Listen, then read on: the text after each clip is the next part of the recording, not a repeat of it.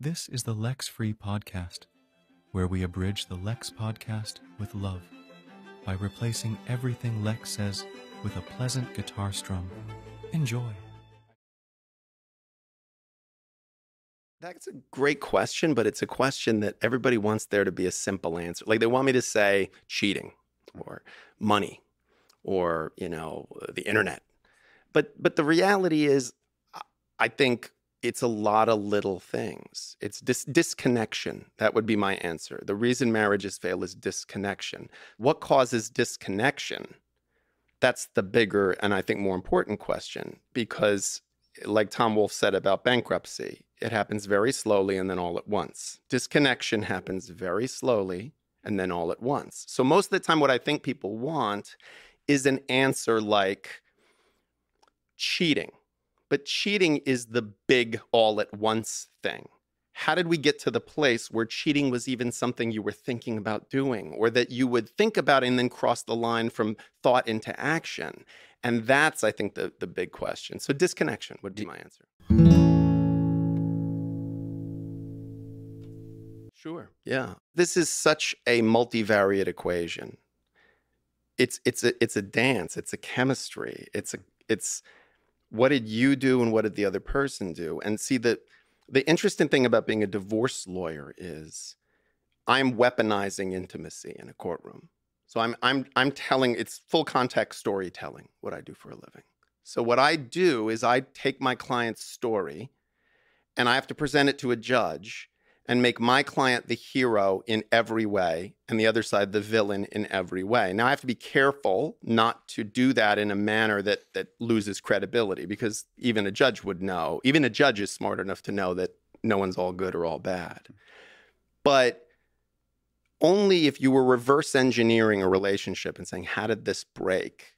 You really have to look at both people, the good and the bad, you know, what what each of them did that moved the dial in these different directions. And I think that that's um, that's very hard for anyone going through a divorce to do about their own relationship. You know, we don't know who discovered water, but it wasn't a fish. Mm-hmm. Like if you're in it, I don't think you see it clearly. I think as a divorce lawyer whose job is to really drill down on the facts and figure out what's going on in this story, I have to look at both sides. So I have to think a lot about my own arguments, but I also have to think about what's the other lawyer's argument going to be, especially in custody cases. So I really have been forced to look at both sides for so many years so deeply in relationships that once you do that, it's very, you realize that the good guy, bad guy thing just doesn't apply.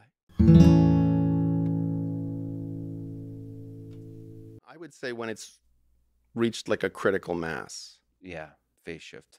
because I think it started before that. When she said, Yeah, I, I used to give him blowjobs and you know, when we were in our early relationship. And then one day, like, I just was like, oh, well, you know, we don't have as much time. Like, well, I'll wait until later and we'll have sex and then we both enjoy it. Blowjobs are inefficient. Yeah, exactly correct. So you batch it all together. Yeah. So she one. said, well, exactly. And they had kids at that point. So I think she really was like, hey, we've got a certain window. Yeah. So let's have something we both enjoy. So I don't think she had any negative intentions there. I think that that she was working in good faith towards the betterment of the relationship, but it was having this second order effect. And so I I I really do think that yeah, the blowjobs, granola. I mean, there anyone who's been in a long-term relationship, I guess it's just worth asking the question, what what does this person do that makes me feel loved? Because I, I, I think it's very interesting in my own experience in life. I was remember I, I had a difficult chapter with one of my sons, my younger son, when he was in his early twenties, and we were having a, a, a heartfelt conversation. And I said to him, "Do you, do you know I love you?" And he said, "Well, yeah, of course I do." I said, "But do you feel my love? Like, do you feel it?" You mm-hmm. know, not just do you know it intellectually, do you feel it? And I remember thinking to myself, when do we feel someone's love, right? Like what what is it that they do? And sometimes it's the weirdest, silliest things that they would never know. They are the person who's showing us that they love us and that we're feeling their love. They would never show us. Mm-hmm. Like if you said, why, why does this person love you? They wouldn't say, oh, because Um, I always make sure that when the paper comes, I bring it from the bottom of the driveway to the door so they don't have to go out and get it. Or I always hold the door for them. Or I, you know, oh, I always like again, I buy the granola that I know this person likes, you know, or I I remembered that they don't like it when I put on this particular record, so I don't put it on. Like and and those are these yes, they're small things, but they're not small. They're kind of everything. Do you think it's good to communicate that stuff? Well, a hundred percent. It takes away some of the power of it, right? When you point it out, then the person realizes, oh, okay, he likes this or dislikes this. So yes, there becomes a deliberateness to it, Mhm. you know, a conscious. So I understand not pointing that out when it's a good thing. I think when it's a negative thing, like I, I think in in the granola situation, Mhm. if she had said to him, Hey, you used to do this and you've stopped. That feels like something to me. Like she she said she didn't say anything about that. Just like he probably didn't say anything about the blowjobs. Mhm. Like I think if there had been a moment of this is starting, let's talk about it while it's starting. But people wait. From what I can see, people Yeah. wait until the big thing happens the financial impropriety, the substance use disorder, the cheating. They wait for that to happen. And then they go, Where did we go wrong? And the answer is quite a while ago with the granola. Yeah.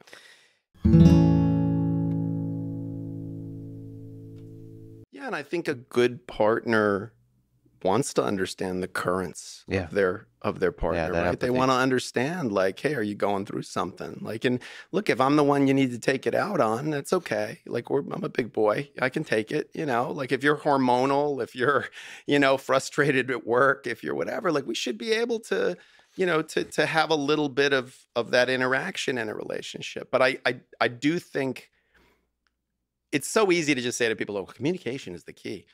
But it, it really is about fearless kinds of communication. It's about really honestly saying to somebody, you know, this this is feels like something to me. Am I wrong? Like this just feels like something to me. And also how that's presented. I mean, one of the things I, I'm very you know, I'm very caught up on or, or, or feel very strongly about is that we we have been encouraged culturally to criticize people we're in long-term relationships with. Not new relationships. New relationships, you put the person on a pedestal, you're allowed to just, oh, oh they're wonderful. But every trope out there in every form of popular media is like the wife rolling her eyes at the husband and the husband being like, oh, this loathsome harpy that castrated me. As if like people are just passive players in their lives. And I, I, I think that is an incredibly toxic message to send to people that, that this is how we should be relating to our partner. Like we should not, you don't take the piss out of your partner in front of people. Yeah. Like the successful relationships I've seen are where people are just cheering for their partner, where they are thick as thieves, where there is just this feeling of like, man, they like each other. Like they are, they got each other's back like you wouldn't believe. Like, man, you could take sides against anybody, but Mhm. take sides against their partner, you're going down. Like, and that when when you see a couple that has that, you, you just you know it's that's so hard to break. But but I think that comes from having like a steadfast, yeah, no, I don't do that. Like I don't shit talk my partner. Yeah. Like, and you don't shit talk my partner to me. Yeah. You know, like, and that to me is when because I think we're just so criticized by the world. The world is so full of criticism. We criticize ourselves so harshly mm-hmm. that having a partner who no matter what is like you've got this. I'm with you. Like you fuck okay yeah you screwed up. I see it. Look i'm not mm-hmm. going to lie to you about your blind spots. You screwed up. But you know what? People screw up sometimes. You got a right to screw up. A lot of people screw up. Come on get up. Let's go. I know you have it in you. If you have that person like that i, I feel like that's a that's a superpower to have that effect on another person. Mm-hmm. Isn't that but But- but there's a scene And they could be saying the dumbest shit. ever. there's a scene in the movie True Romance. you know, I love True the movie. Romance. Great movie. I mean, that yeah. Gary Oldman scene is like the greatest scene ever done in, in, in film, you know, with Christian Slater and he. But there's a scene in it where she holds up a sign to Christian Slater and it says, You're so cool. You're so cool. Yeah. And I, I like, man, like, that's it. Yeah. That's it. Like Yeah. I, I've always, I think I say it somewhere in the book that, you know, you go to weddings and like when the bride walks in, you know, everybody's looking at the bride. It's her show. You know, everybody turns around. It's the first glimpse everybody gets of the bride. And I never look at the bride. Mm-hmm. I always look at the groom looking at the bride. Because there's this like, to me, that's every like he has this look like this because this is the first time he's seeing her in the dress most of the time. And also he's seeing her like, holy shit, she's coming down the aisle. We're getting married. Like, but this is it. And everyone's looking at her. And and I always look at him because I always think to myself, like, like, like the look on his face is like, that's like this feeling of like, holy, yeah, wow, okay. Like that's everyone's looking at her and she's mine and she's coming up here and we're getting married. And I feel like, yeah, like that, that kind of adoration. Mhm. Like I think that's the look we're describing is like adoration, like that the words coming out of their mouth that they're like, yeah, that's mine. That one's mine. You know, that's such a great thing. Like, it's such a great feeling. Story. And what does that do to him, though? I mean, Yeah. he's- that's what, yeah. see, that that's the point. Like, if there's a point to this, to this whole thing, this whole couple thing, Yeah. isn't that it? yeah. like i don't i don't understand this idea of you know we had a successful marriage we were married for 50 something years we were miserable for 47 of them but we hung in there like it this is an endurance event like Yeah. the primary relationship of your life you've decided you're going to turn into the the tr- like a 50 mile trail race Mhm. like why why would you do that like congratulations you you took the concept of monogamy and made it something that two people are absolutely not going to enjoy, but you hung in there. Yeah. Like, congratulations. And I understand there's religious perspectives that say, well, it's a sacred covenant, but I, I, have, I have a real chicken or the egg problem with that. Because I think it was like, well, how do we sell this incredibly stupid concept that isn't working to people? I know we'll tell them God says you have to, and, and we'll sign on for that. I, I, I don't buy it. I don't buy it anymore. I really, because when you see a successful marriage, where you see two even without a marriage, you see a pair bond, you see a couple that really love each other and cheer for each other in that way and like hang on each other's words that way and like are just in each other's corner that way. You see the fake shit instantly. Yeah. Like you you see the difference right away. It's like if you, you know, the first time I've this is the first time I've come to Austin. I've I thought I'd eaten a lot of barbecue in my life. I've never had Texas barbecue. I Yeah. landed, I went and had barbecue. yeah. I was like, okay, I've never had barbecue before. Apparently, this is this is a whole different thing. I think it's the same thing. I think it's like once you see real love, like real love, and and I mean romantic love, like real love like that, real bond, real you go, oh yeah, this other thing's not gonna do it.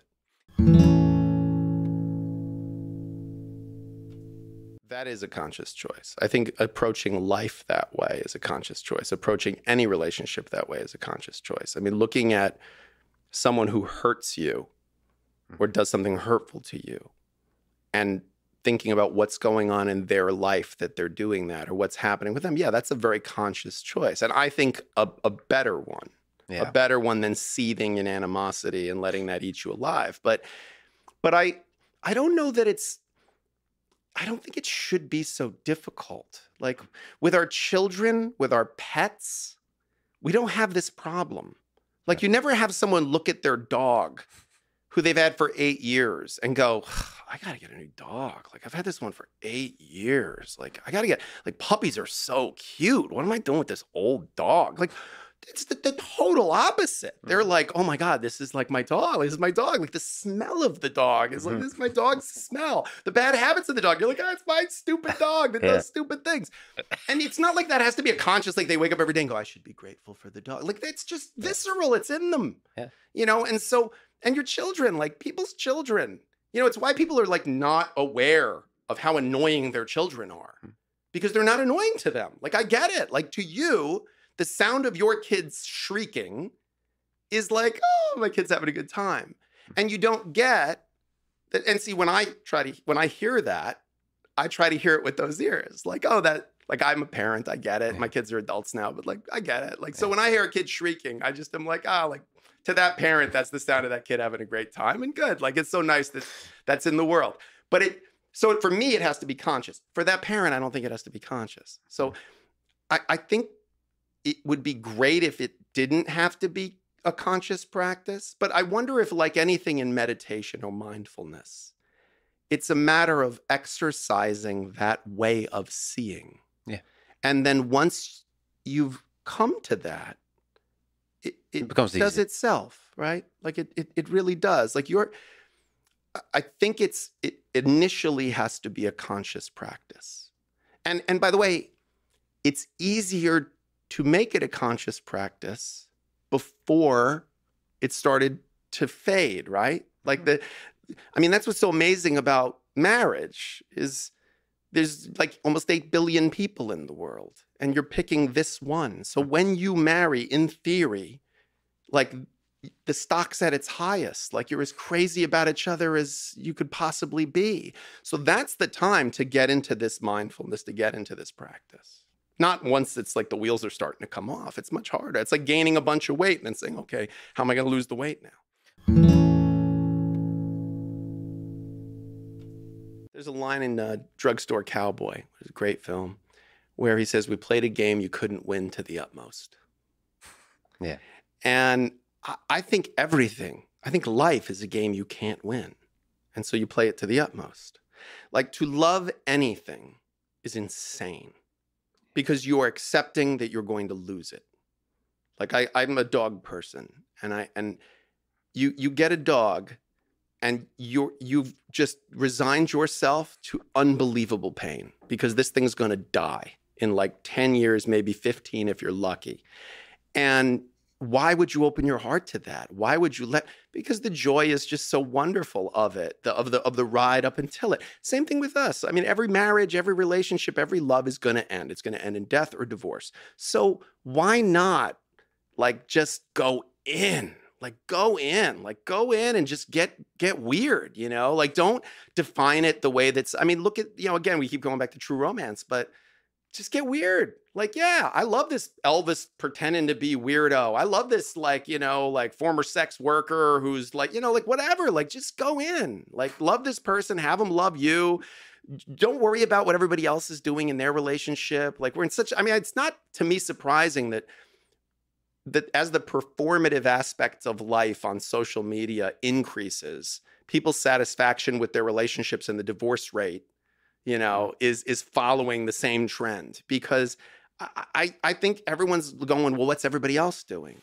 You know, well, what, how much sex is everyone else having? Are, the only two people that should worry about how much sex you're having are the two people. If the two people are happy in the relationship, great. Then what does it matter? What does it matter what everybody else is doing? Yeah, there should be an element to great relationships and great friendships of like fuck the world. It's us versus the world. Us. It's us. Yeah.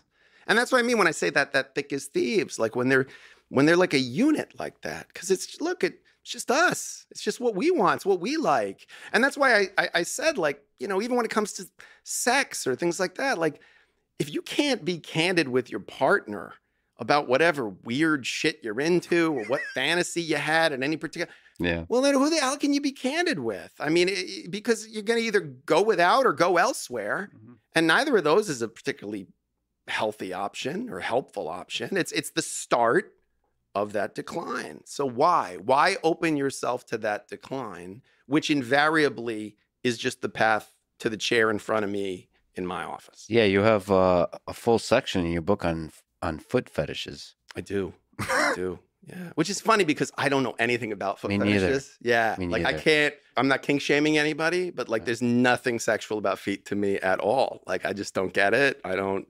But I mean, listen, if people like things, it's good, you know. But yeah, I I I have had clients that have odd fetishes or sexual proclivities or things they want to do, and they don't share it with their partner at all.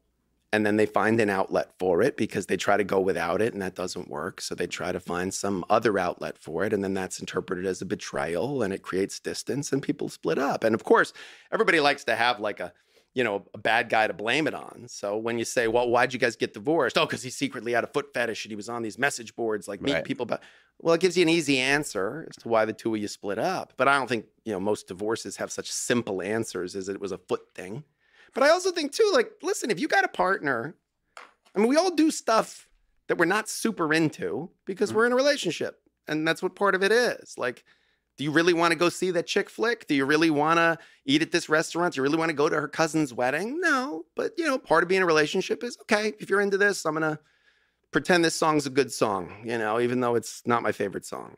And and I think I, I just don't know. We've turned sex. I mean, sex has been so politicized in recent years. Maybe it always was. But I, I, I think we've made it into something where we can't just I don't know, I'm not in defeat, but if the woman I love was like, you know, I'm really into feet. Like I really want to do stuff with your feet. I'd be like, all right, I can pretend that I'm into that. Like for it's not gonna kill me. Yeah. You know, I, But- I'm not gonna be able to make it a centerpiece of our coupling, but you know, like yeah, I can pretend I'm into feet if you want. But but frame the question the other direction. Yeah. If you were into furries, yeah. how do you prevent your partner from knowing anything about that? That feels like a real. You'd have to make a conscious choice to not let your partner know. Sure. that. Sure. So so I I I don't think either of those is a particularly palatable or easy proposition. But a lot of people live life hiding some part of themselves. Yeah, quite unsuccessfully. Like it, it the, the the second order effects of that are very rarely positive. Sure. I don't I don't think I've ever met someone who went, yeah, I really hid this huge part of myself for an extended period of time, worked and that's the great. best thing that happened. It's I'm really glad. I'm really glad I stayed in the closet as long as I did. You know, it really worked out. Like it rarely does. It's a Well- question of how long can you hold it off. Yeah. Like I know gay men who stayed in the closet for 40 years, 50 years of their lives. And then they had a successful second chapter as a gay man. Mhm. I've had clients like that. Do they regret that they were in the closet? No, because they were married, they had kids, like they had experiences they're glad they had. But would their advice to a young person in their 20s and 30s who's gay be stay in the closet because then you can have a wife and some kids and then you can come out when you're 50 or 60 and have a second chapter? No. Yeah. They would say, you know, be who you are. Don't be afraid, you know. Don't want to be in. There's a difference between being honest about something and being indelicate about it. Right. You know, like I, I, I think we all do this with lovers. Like any of us who've been in more than one relationship, you would not, you know, at the end of sex be like, "That was the third best sex I've ever had." You know, like you. That's it's just indelicate. It's rude. You know. So so, I don't think it's a matter of like total candor at all times. But I, I think if you were, we're using the furry example, and I'm not picking on furries. I, I just think if if that is a proclivity that is anything other than a passing thought, like it's something that you just keep coming back to, then you're making a conscious decision to withhold it from your partner. And what is that out of? I mean, I would say it's probably out of fear. I'm not a psychologist, but it's probably out of fear Mhm. fear that they would reject you that they okay well now see i, I genuinely believe that that this you know I, i'm i'm i'm very conflicted in my religious faith but i i don't know that i believe in the devil but if there was a devil i think his principal function would be to convince us that we are so bestial that god couldn't love us it would be to convince us that we're awful and that we should just lean into the awfulness. And I know the, the greatest low points of my life came whenever I just went, you know what, I'm just I'm just awful. I might as well just behave awfully. And I I really believe that when you don't when you push down parts of yourself like your sexuality, like your insecurities, your your true feelings from your romantic partner, the person who's supposed to be your, you know, your number one. You are making sure you will never feel their love. Because they don't love you. They love the you you've presented to them, which you know in your heart is not the authentic, honest, real you. And so if you know you're super into furries and you don't tell your partner about that, and your partner says, I love you so much. And you know what I love? One of the things I love about us is we have such great sexual chemistry. You'll never feel that love because you know, yeah, that's not true though. She doesn't know. She doesn't know that actually I'm not really satisfied. And there is this thing that I want that I know I can't even tell her because I'm so ashamed. Like that doesn't feel like a good option to me.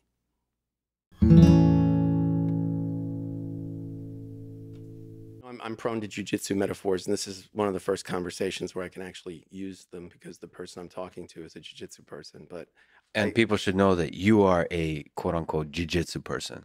I- you have been afflicted with the with the I, I am a brown belt under Marcelo Garcia, and I am like a seven-year brown belt now. So which is the right way to be a brown belt. It's- well, and also I am I am you know late middle aged, middleweight and moderately talented. So I'm I'm and, and training at, at that academy with so many incredibly talented people and training in New York City where there's so many unbelievably talented people. You're you're constantly humble and feeling like you should just be wearing a blue belt all the time. Um, but but a lot of I think as you know and as most most people who practice jujitsu know, you start to sort of see jujitsu in everything. I genuinely believe that in love you you have to give something to get something. You have to cre- everything you do creates a vulnerability.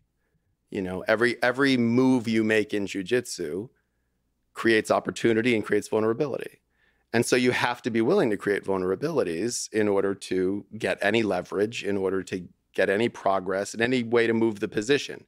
You know you don't want a marriage that's just two people both in 50-50 you know like you're just sitting in that guard doing nothing you know you you you want to you want it to actually move along.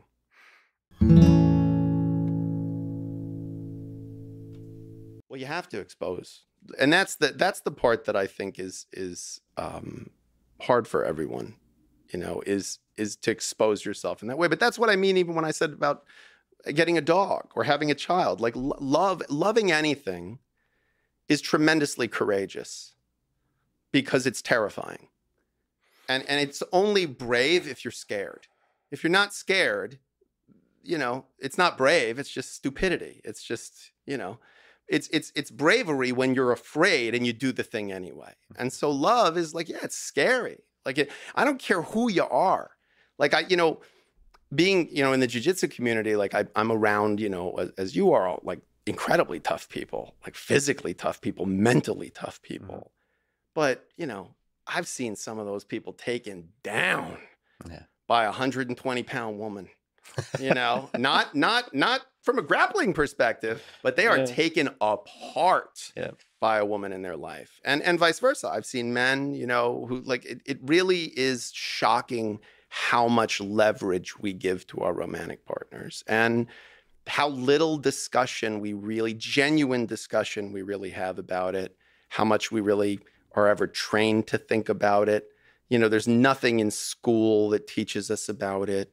So much of literature and art is an idealized version of it. Mm-hmm. So little of it is is real.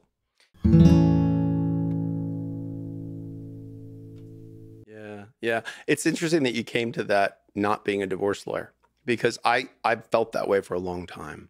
And i really try to say to my clients like in the courtroom at the negotiating table i have a a role to play where I have to be sort of like a pit bull or a, you know some kind of a like a courtroom sociopath. But behind closed doors, like I'm very candid with people. I'm try to be much more emotionally attuned with them. So you're an empath in the sheets and sociopath in the streets. Exactly correct. Okay. That's well said. I even boy, that's a, I get a new tattoo idea. That's good. I like that. I I but I I do believe when I'm behind closed doors with people, I say to them, how you end things is going to be how you're going to remember the whole thing. And and that's unfortunate. Because you know, you watch like a 2-hour movie and if the last 15 minutes of it sucked, you go, well, that movie sucked. Like, well, the first hour and 45 was great, you know? But you walk out with this bad taste in your mouth. I I'm genuinely in awe of how easily people forget that they loved each other.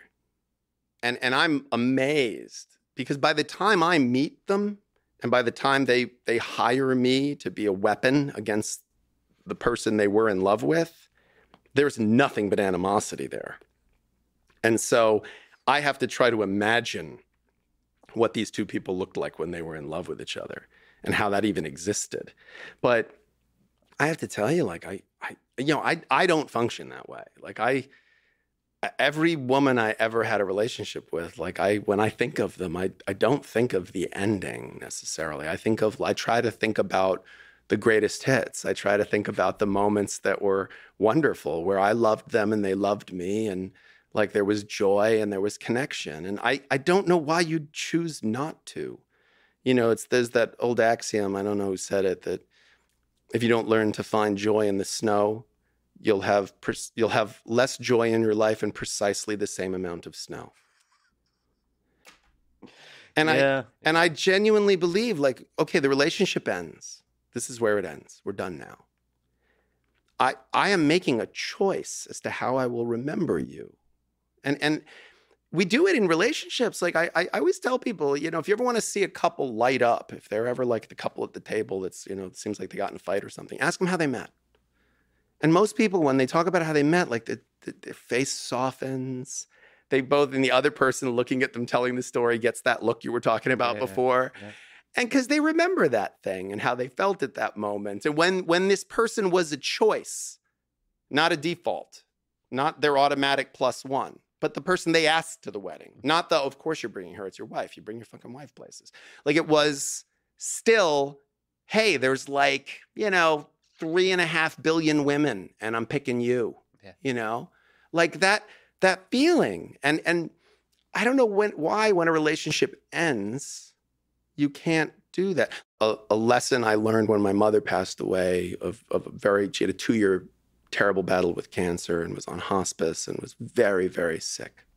And it was a very slow and awful end. And I remember one of my worst fears was that this is how I would remember my mother for the rest of my life. That I would never be able to think of her, that I didn't think of what she had become in the last months, where she was withered away to nothing in, in this bed, you know?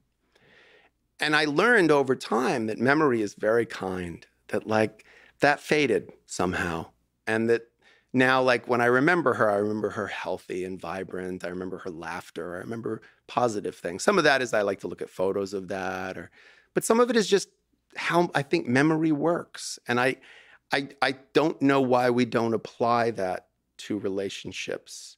And i think part of it is because we have this binary view of relationships that it's either success which means you live happily ever after for the rest of your lives and die together or like in short succession or it was wrong, it was awful. And I, I don't understand why that would have to be how we do it. I think we could look at relationships like what they are, which is chapters in a book. And that book is our life. And those chapters all have significance. And none of them would, ha- the later chapters, none of them would happen without the prior ones. Mm-hmm. So there's this beauty to me of that. And it's, I don't know if that it's a choice or if that is how it is. And the rest is just narrative that we've put on top of it culturally for some reason. I'm continually astounded by how long the hurt and anger of betrayal can reverberate. I, I have clients who were four years, five years past when the divorce ended, the cheating was discovered, and they're as angry as they were the day they found out. And and I I don't know what that's about.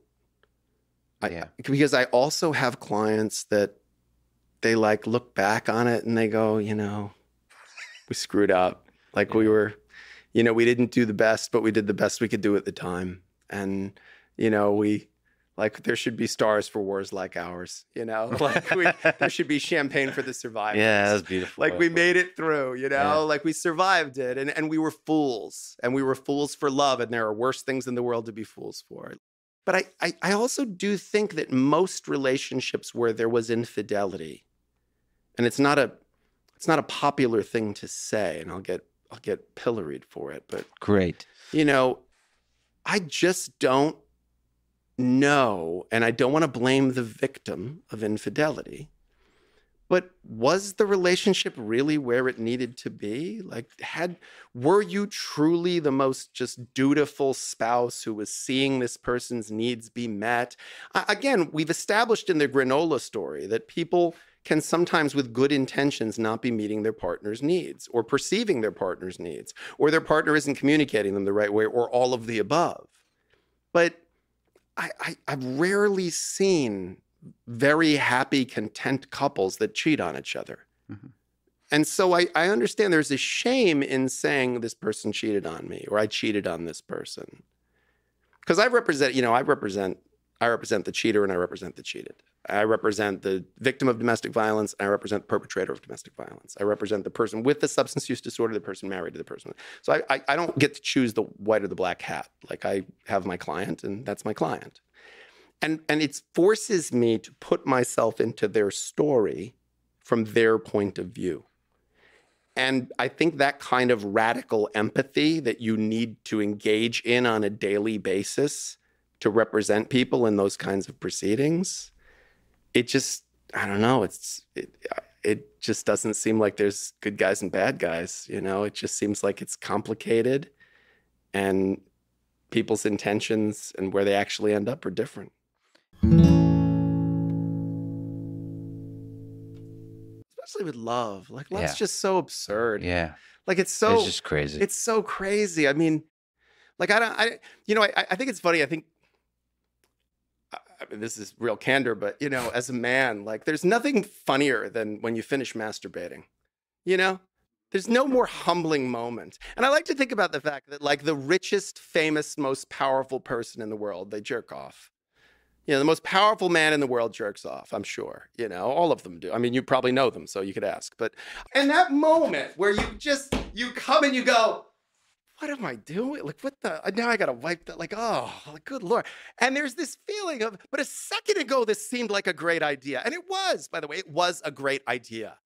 But but you, there's this moment, this satori, you know, where you just go, oh, like what? This is so silly. Well, like that's love, that's sex. Like it's great. Like when you read other people's infidelity, the text messages, the emails, because I have to do that all the time. And, and I'll tell you how we make the sausage. In a divorce lawyer's office, this some of the most entertaining moments is dramatic readings aloud of people's infidelity exchanges Uh-huh. with their lovers. you the sexts. yeah, the sex and the the like, you know, like it's just so ridiculous because people have to go through like all kinds of gymnastics to be able to meet and have sex in weird places, and Mhm. you know, and you're reading this and you're reading these texts, and you kind of go like, oh my god, these people. And by the way, like I've represented some very powerful people, Mhm. and you read their texts with their lover or even their spouse, like even their spouse, you know, and they're just pathetic. I mean, they're just like so not powerful. They're so like, hey, babe, Yeah. you know, I, I have a, I have a, will remain Yeah. totally nameless. I have Uh-huh. a very powerful, wealthy, famous former client where there's a whole series of texts about, is my dick weird? Which, by the way, I think the answer is, is if you have to ask if you have a weird dick, the answer is probably yes. Because I I've owned one and I've never thought, is this weird? But but I I the fact that you're having this discussion, like it's absurd. It's hilarious. Like love is hilarious. It's Mhm. bizarre. It's such a weird vulnerability. It's such a a basic visceral human need. You know, it it it really is something that we just, you know, it's mysterious. It it it, it but it but it, it doesn't have to be that complicated. I don't think that even betrayal, like I said, it, it doesn't have to be that complicated. I think we can frame it differently. Karate Kid 3 popping Yeah, in my exactly. head. What? Why? You and know? like you're like, Where's Ralph Macchio now? And- where did who is he dating? Yeah, Uh, yeah, Why is and then yeah. mother and then Yeah. and then you're like, and then a restaurant nearby. Yeah, Like how did I go from this to that? But but it, it made sense at the time. Yeah. So so when you ask someone, how did our relationship fall apart? It's like looking at the Google search history Yeah. of yourself Yeah. From 10 years. You don't even know why you were thinking about those things. Yeah. And now you want to understand why you did what you did, felt what you felt, she felt what she felt, she did what she did, and why the two of you, how you impacted each other and interacted with each other. Really? You think that's doable? But you've mean, you know, cheating doesn't come up as much because most states are no fault states now. So why someone's getting divorced, whether it's infidelity or, you know, it doesn't matter. There's no good spouse bonus or bad spouse penalty. oh, there isn't. I mean, can you No. elaborate on that? Like that's Well, you can have. We've had times where we have to prove infidelity because we want to prove what's called wasteful dissipation of marital assets, which means that you were spending money that was marital money Mhm. on a paramour. That's what the legal name for a ex, you know, for a boyfriend or girlfriend in the marriage. And usually the person calls it, you know, that whore Yeah. or that piece of shit. Yeah. But we call them rhymes. paramour. Yeah, the yeah. paramour. yeah. And the the the you know sometimes we have to prove inclination and opportunity. We have to prove that this person had the inclination to cheat and that they had the opportunity to cheat. And then we want to show that okay, so when they went away, that should be considered dissipation of marital assets. So if you go out to dinner with your brother, you didn't dissipate the marital estate. But if you bought your paramour a Tiffany bracelet, that would be a dissipation of marital assets, and the person's entitled to a credit back for that from what was taken out of the marital estate. So we do sometimes have to authenticate text messages on the witness stand or in depositions, you know. And what's interesting about that is the way people approach it. Like people sometimes try to pretend, oh no, this is just my good friend, Mhm. you know, and which is just like you kill your credibility, you Mhm. know, if you, oh no, she's just my very good friend. She's not. She's not. That, that makes no sense whatsoever. Or no, we were just friends at that point. And then several months later is when we, once this marriage was over, that's when we got together as partners. Right. That's ridiculous. But sometimes people just own it. Just mm. own it. Like I did a deposition of an executive once and you know, opposing counsel like thought they were going to really hit him. They were like, and looking at this credit card receipt, what was this charge for for this hotel? He was like, oh, that was for a hotel room that I got with uh, with my girlfriend. Mhm. And you were married? Yes, yes. What did you, where did you stay at the hotel? It was we didn't even stay. We actually just did like an afternoon delight, rolled around in bed for the day. Yeah. And it was like, well, now you know, What's took the, all the thunder out of that. what's the downside of doing that? That seems like a really There wasn't. It actually, I think, helped his credibility. It was my client, so I, I thought it was the right move. We hadn't really discussed it in advance, but he he he was naturally intelligent enough to go, yeah, my credibility. Like I'm not going to lie under oath. I'll admit what it was, but I'll do it in such an, you know, we did it like at the end, like Eminem at the end of Eight Mile. Like it was very like, yeah, I cheated on her with this person. Now tell these people something they don't know about me Mhm. you know and and and that's kind of how i try to as a trial lawyer we we actually in my firm refer to it as the eight mile strategy Mhm. which is like we will if i know there was a text message sent you know you piece of shit i hope you die my client sent that text message to his co-parent i i on my examination of my client Mhm. i will say i'd like to have this marked for identification shown to the witness what is that Yes. it's a text message. Who's it to? Uh, plaintiff. You sent it? Yeah. Read it out loud for the court. Mhm. Uh, do I have to? I think you should. Uh, you're a piece of uh, S. Does it say S? No. what does it say? Well, it's a profanity. So you say it. Say, uh, you piece of shit. I hope that you die. Yeah. You sent that to her. Yes. Why? I was really mad. Do you think that was good? No. Do you think it was helpful for your co parenting relationship with her? No. Why did you send it then?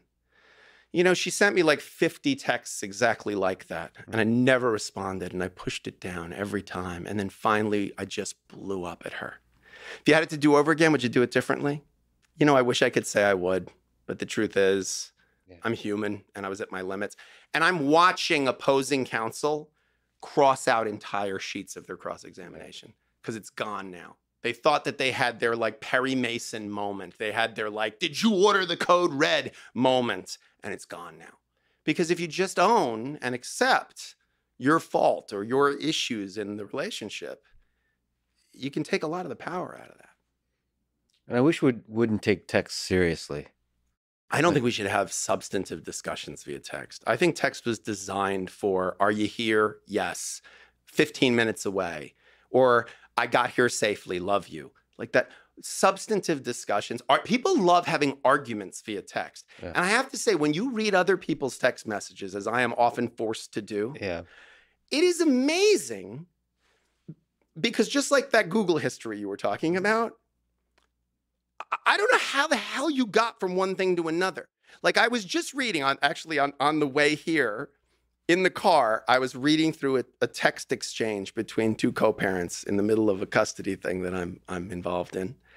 And it's like you piece of shit, you never cared about anything, and I'm gonna take you have no right to take the kids from me. Yeah. And then the next day, nothing in between. The next day, Maddie got a, a, a, you know a good grade on her science thing. Oh, that's great. She's doing so well. It makes me so happy. Yeah, her teacher said she's doing really well.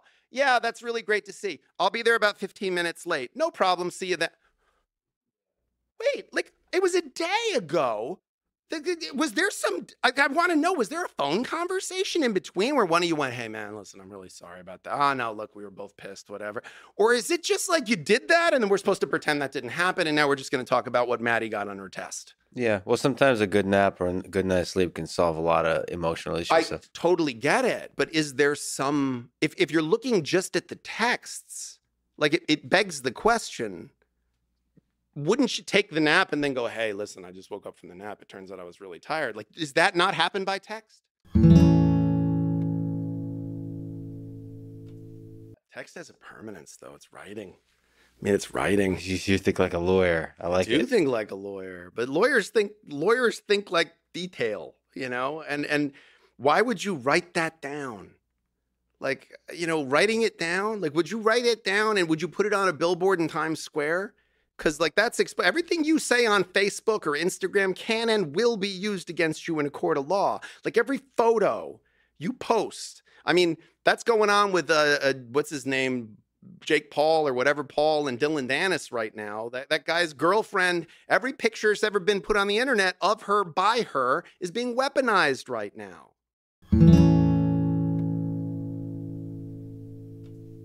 But risks. is the reward of doing it via text worthwhile? I'm listen, the reward of love, I think, is worth the risks of love. Mhm. But the benefit of communicating by text, does it merit that that risk of that being in writing that the person can reflect on and review and scroll back and get heated up again about? I don't know. We just take risks and we're vulnerable with each other. there may be something about text that, for whatever reasons, inspires a kind of candor. Because I think it, it is a new way to communicate, right? Yeah. In the scheme of things. And so sometimes, you know, we don't know the thing until it's really come into existence. So I I don't know. I think it started as something that we just communicated in a very extemporaneous, unplanned way. Like texts were meant to be I'm here, I'm outside, whatever it might be. And so, what happens when you start to talk about more emotional, deeper, bigger things, or visceral things, or more emphatic, passionate things? using a technology that was originally just being used for the other purpose I don't I don't know the answer to that. What I do know is, yeah, as a lawyer, A, from an evidentiary perspective, and B, I just know what it looks like on the outside. Like I I I know when I read it what it looks like. And that's that's not always accurate. Like to just see the it's like when you watch, you know, a video of someone at just their worst moment, you Mhm. know, and the person tries to say, but wait, that's not me. Like that was just me in that moment. That was me at this incredible low point. And I, I, I think as a lawyer, my job is to weaponize that and to try to say, okay, this this low point is indicative of who they actually are. Yeah.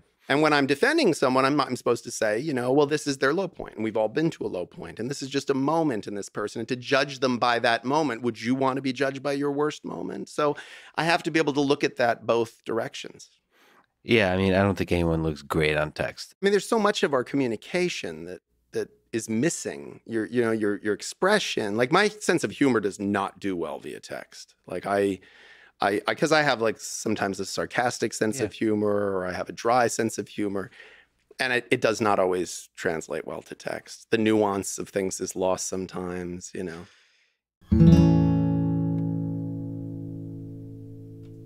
That's, it's that's- like a it's this you know it's it's the gap between the two trapezes you know like once you've hit send and you're like, well, let's see where this goes. Like, this is coming back now, you know, and and you're waiting and waiting. It's like that moment of just hang is, yeah, that's a rush. I mean, that's a rush. That's a beautiful thing.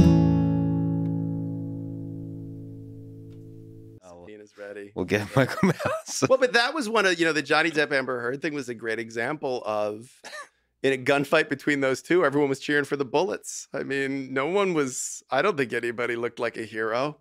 They both looked like what they are, which is humans, really Yeah. flawed humans who had.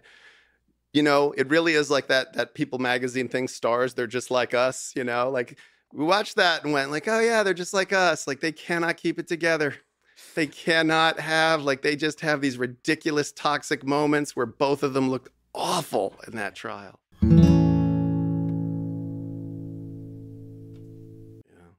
my feeling about that trial is there is no amount of money that would be worth laying that kind of stuff bare publicly. For you, if you were Johnny for Depp. me yeah. There's no amount of money. I don't know which. because they both look awful. They both look awful, and I don't think I, I don't think I'm qualified to say if one of, or both of them are awful, mm-hmm. but they both had moments in that courtroom where their behavior and words looked awful, and and I just don't know that that exposing that to the world like the I just don't know. I mean, I understand the point of view that that by bringing that suit, Johnny Depp was saying, "Look, I, yeah, I have to show these awful things to the world about myself, but it's it's not as bad as what she's claimed I've done." Mhm. So I get it. I'm not saying that's incorrect. And for Amber Heard, I think her response is, "Well, for him to say I'm lying, you know, I have to prove my." But my God, like what a awful thing to watch. I, I it was all it really is is just another it's just another couple. Like there's so you know how banal that is. Like, you know how many, So this kind of those- stuff happens a lot. a lot. It, it, it's the norm. It's not. It's not the exception. They just happen to have like a grand scale because they have you know lots of people around them and Yeah. lots of money.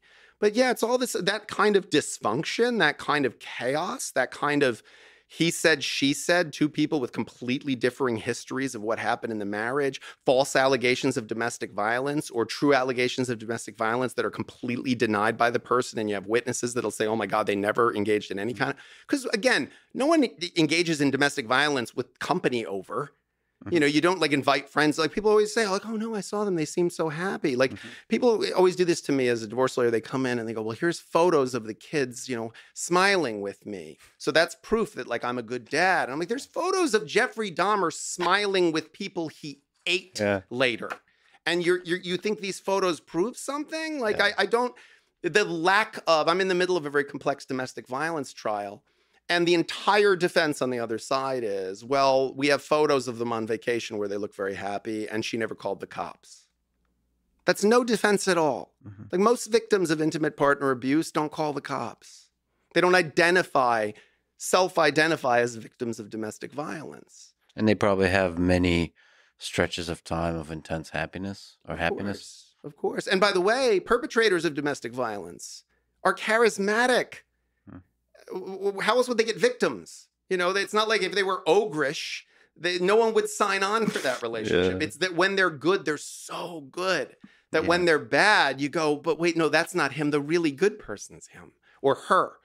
You know, we saw that in in in, in the public testimony of that, you know, Depp Heard thing. Is they, there were moments where you look at her and go, oh my God, like I want one just like that. And there are moments where you listen to the testimony and go, oh my God, she's awful. Like, what? That's just evil. Yeah. And the same for him. So I, I, I really, this should teach us something about how not only are there two sides to every story, like that, that there's just so much complexity and nuance to these. But I think it, everyone was asking the question whether you were Team Depp, Team Heard, or Team I could care less about either of these people. Everybody's looking at it going, why? Like, what? 8 billion people in the world. Why did you stay together? Just break up. You're miserable. It's obvious. It's obvious you're not. This, this can't be worth it. That's it. I think that's a function of our professions. We we we um even after 20 plus years of doing this, like the night before a trial, I can hardly sleep. And I Excitement, fear. Yes, yes. Okay. All of that. All of that. And and I even have moments as I I, I pull up to the courthouse and I listen. I wear certain cufflinks that are like my lucky cufflinks or something. And and I pull up to the courthouse. I walk into the courtroom and I have this feeling in the pit of my stomach. And then it starts. And the moment it starts, something in me goes, Oh yeah, I know how to do this. Yeah. And it's instantly like I just I own it. I love it. And it's yeah, it's the the people that love this job you know, being a, a trial lawyer, being a, a, particularly a divorce trial lawyer, family law trial lawyer, it's I love it. I love I, I, I love it more than I loved it when I started doing it. I still, you know, I, I I can't imagine spending five days a week looking forward to two. You know, I I love what I do. I I don't know that I'll ever love anyone or anything more than I love the work.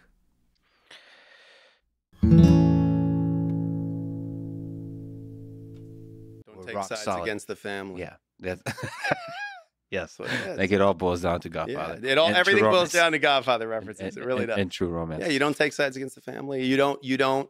You don't show that weakness to the world. I. I mean, again, I don't know that.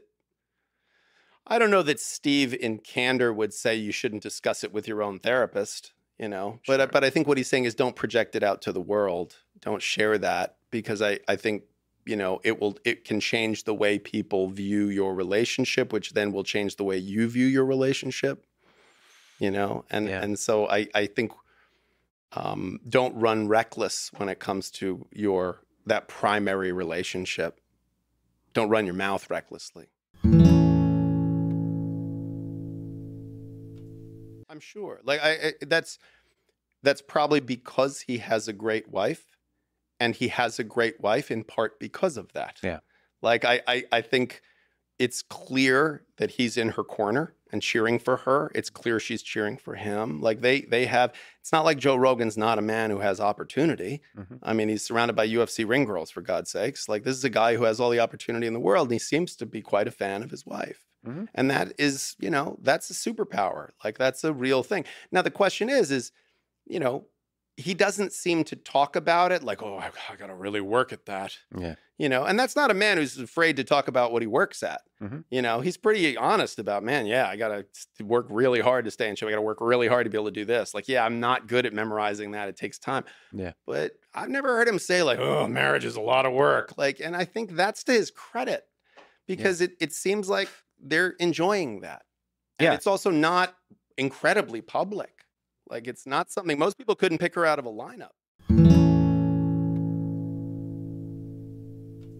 especially that I, I i think there is something about the womb like cocoon like joy you know of like love Mhm. you know when you're just tucked in snuggled in like just pressed against each other with that like that that's such a you know like a it's just the two of you Yeah. like, and that's lovely you know and that's Yeah, such a peace. a good thing and I, I i like we were just dying for connection you know and and that connection is so big it's so everything you know I, one of my earliest psychedelic experiences probably when i was a teenager but a theme that's been persistent in every psychedelic experience i've ever had is this idea of like everything is connection everything is being pressed to someone and with them you know like the warmth of human connection. Like i one of the reasons i i enjoy listening to your work and your perspective has always been that i i think at the core you see connection and love. And and i think for me from my earliest experiences with psychedelics at you know 16 17 i was very attuned to that i was very much that was put on my radar by psychedelics and just stayed part of my consciousness forever and I, I think I had a 30 something year break from psychedelics. But it was like when I came back to it, I went, oh, yeah, it's still there. That's still the core of everything is connection.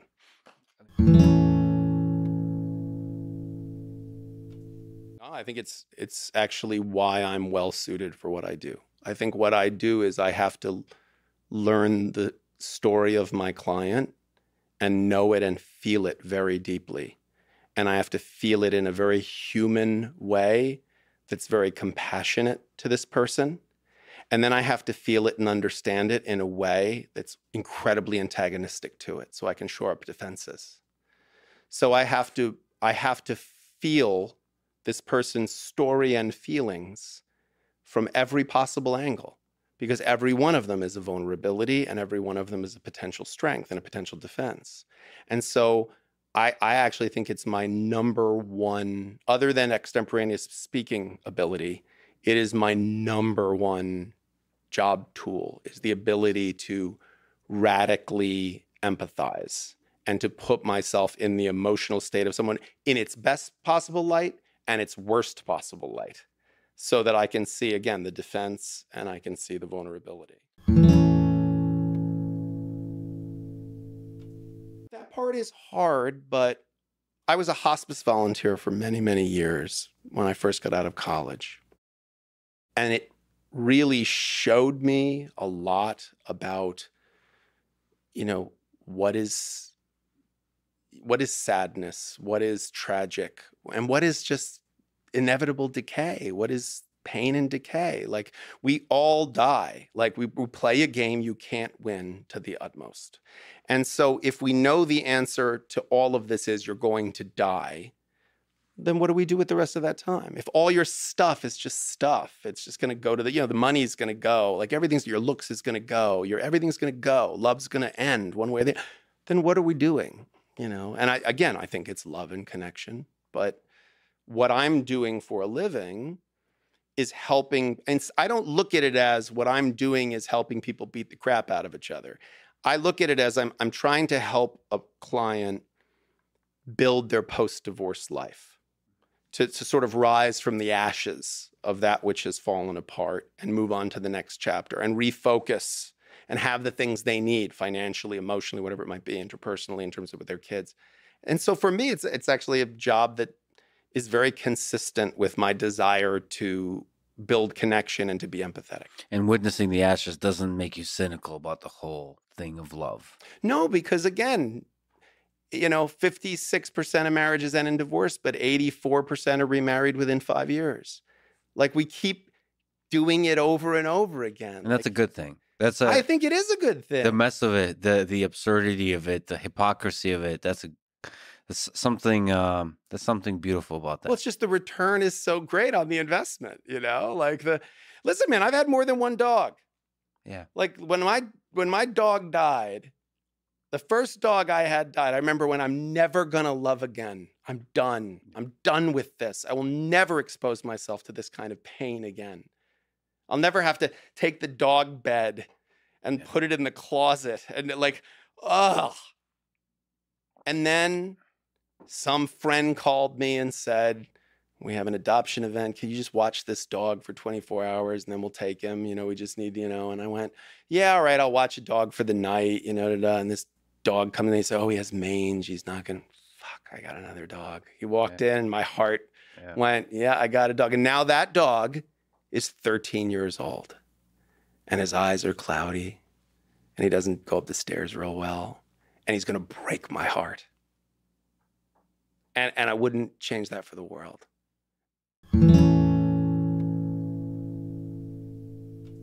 and you'll and you'll never you'll never lose that pain but i promise you your heart has an infinite capacity for the kind of love you felt with that dog. And you'll never feel a love that replaces the whole.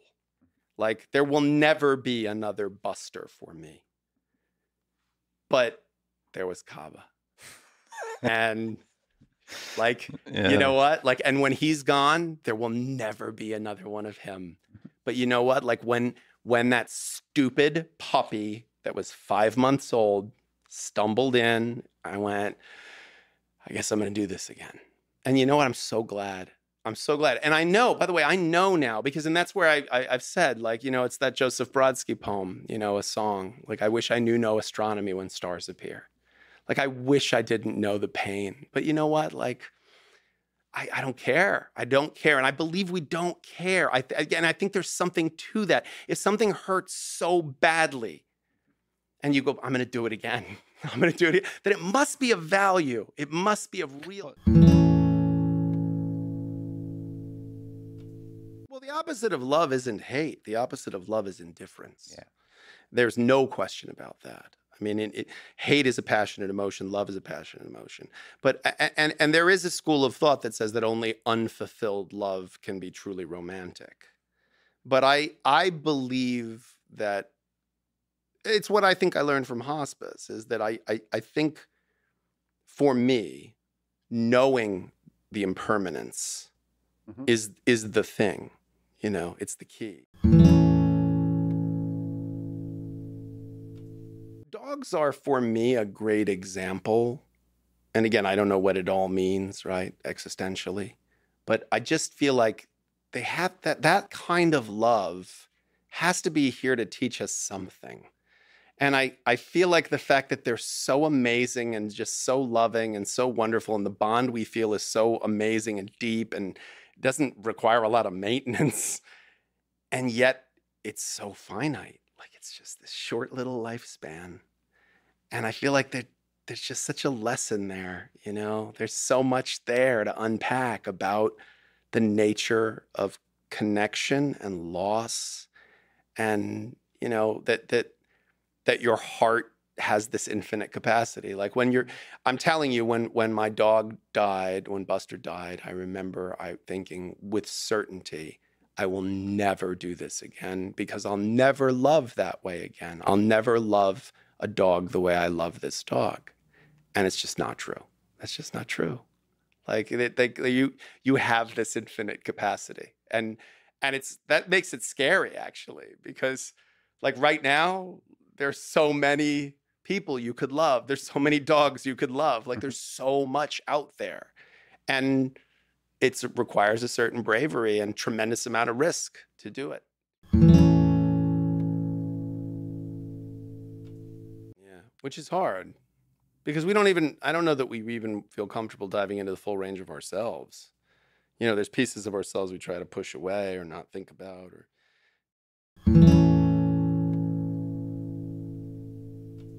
craziest would be different than most complicated. Let's go craziest. yeah so craziest ah gosh that's a great question. So from a chaos standpoint i mean i see so many bizarre fact patterns and so many variations of people cheating with people people sleeping with the nanny people sleeping with their, someone's a relative of their spouse people having same-sex or, or polyamorous relationships and the other person doesn't even know they're not monogamous. Like it, so much craziness um, that you could fill 15 books in terms of complexity you know I mean, emotionally complex is any custody case is emotionally complex because you're you're you're dealing with parenting issues and what makes a good parent. I think is a very tricky question because, you know, I'm trying to convince a judge who's a better parent, and that is so loaded with subjective, you know, value judgments.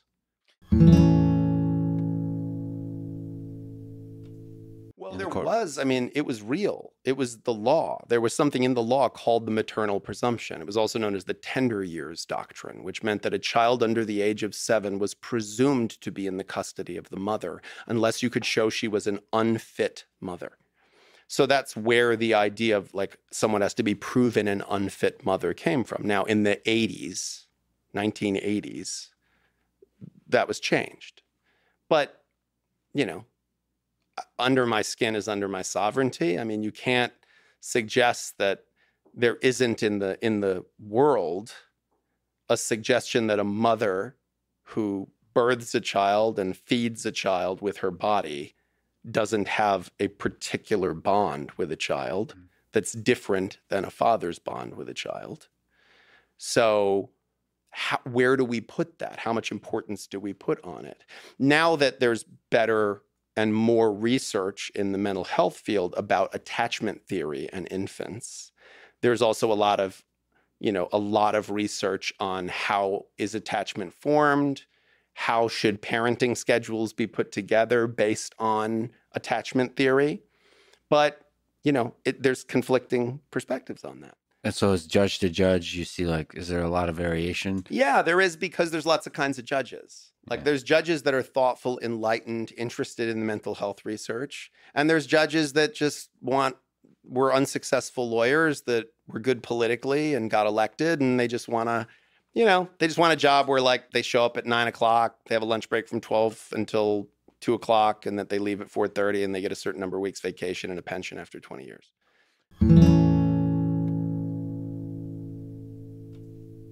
Most, the overwhelming majority of custody cases don't end up in my office. They, they, they, they are a negotiation between two people that love their children more than they dislike their soon to be ex. So the overwhelming majority of cases are just two people going, okay, how are we going to make decisions together? Because there are decisions that have to be made about kids. Will they go to public or private school? Can they go on medication if they need it or not? Should we change pediatricians? You know, all those kinds of things. How do we make decisions? And when will we each spend time with the kids? And so most custody cases are just that. Most custody cases are just a discussion, a negotiation between counsel um, about those issues. And, and they're not ugly and they're not anything. They're just people. Again, sometimes people have differing perspectives, you know, but sometimes people haven't thought through their perspective. So as a divorce lawyer, a lot of what I'm doing is counseling a person Mm. because they come in and say, well, I've been the person who handles, you know, all of the homework and all of the everything. So he should only see the kids on weekends. And there's a logic to that. Like I've always done the homework with the kids, so I'm the parent who's in charge of the homework. And he's obviously not done that before. But there's also a logic that you can then say, right, but then you're doing all the heavy lifting of parenting and he's doing none of that. And you were a married couple and living together. So he was trusting you to do that because you're good at it and you, you seem to like it.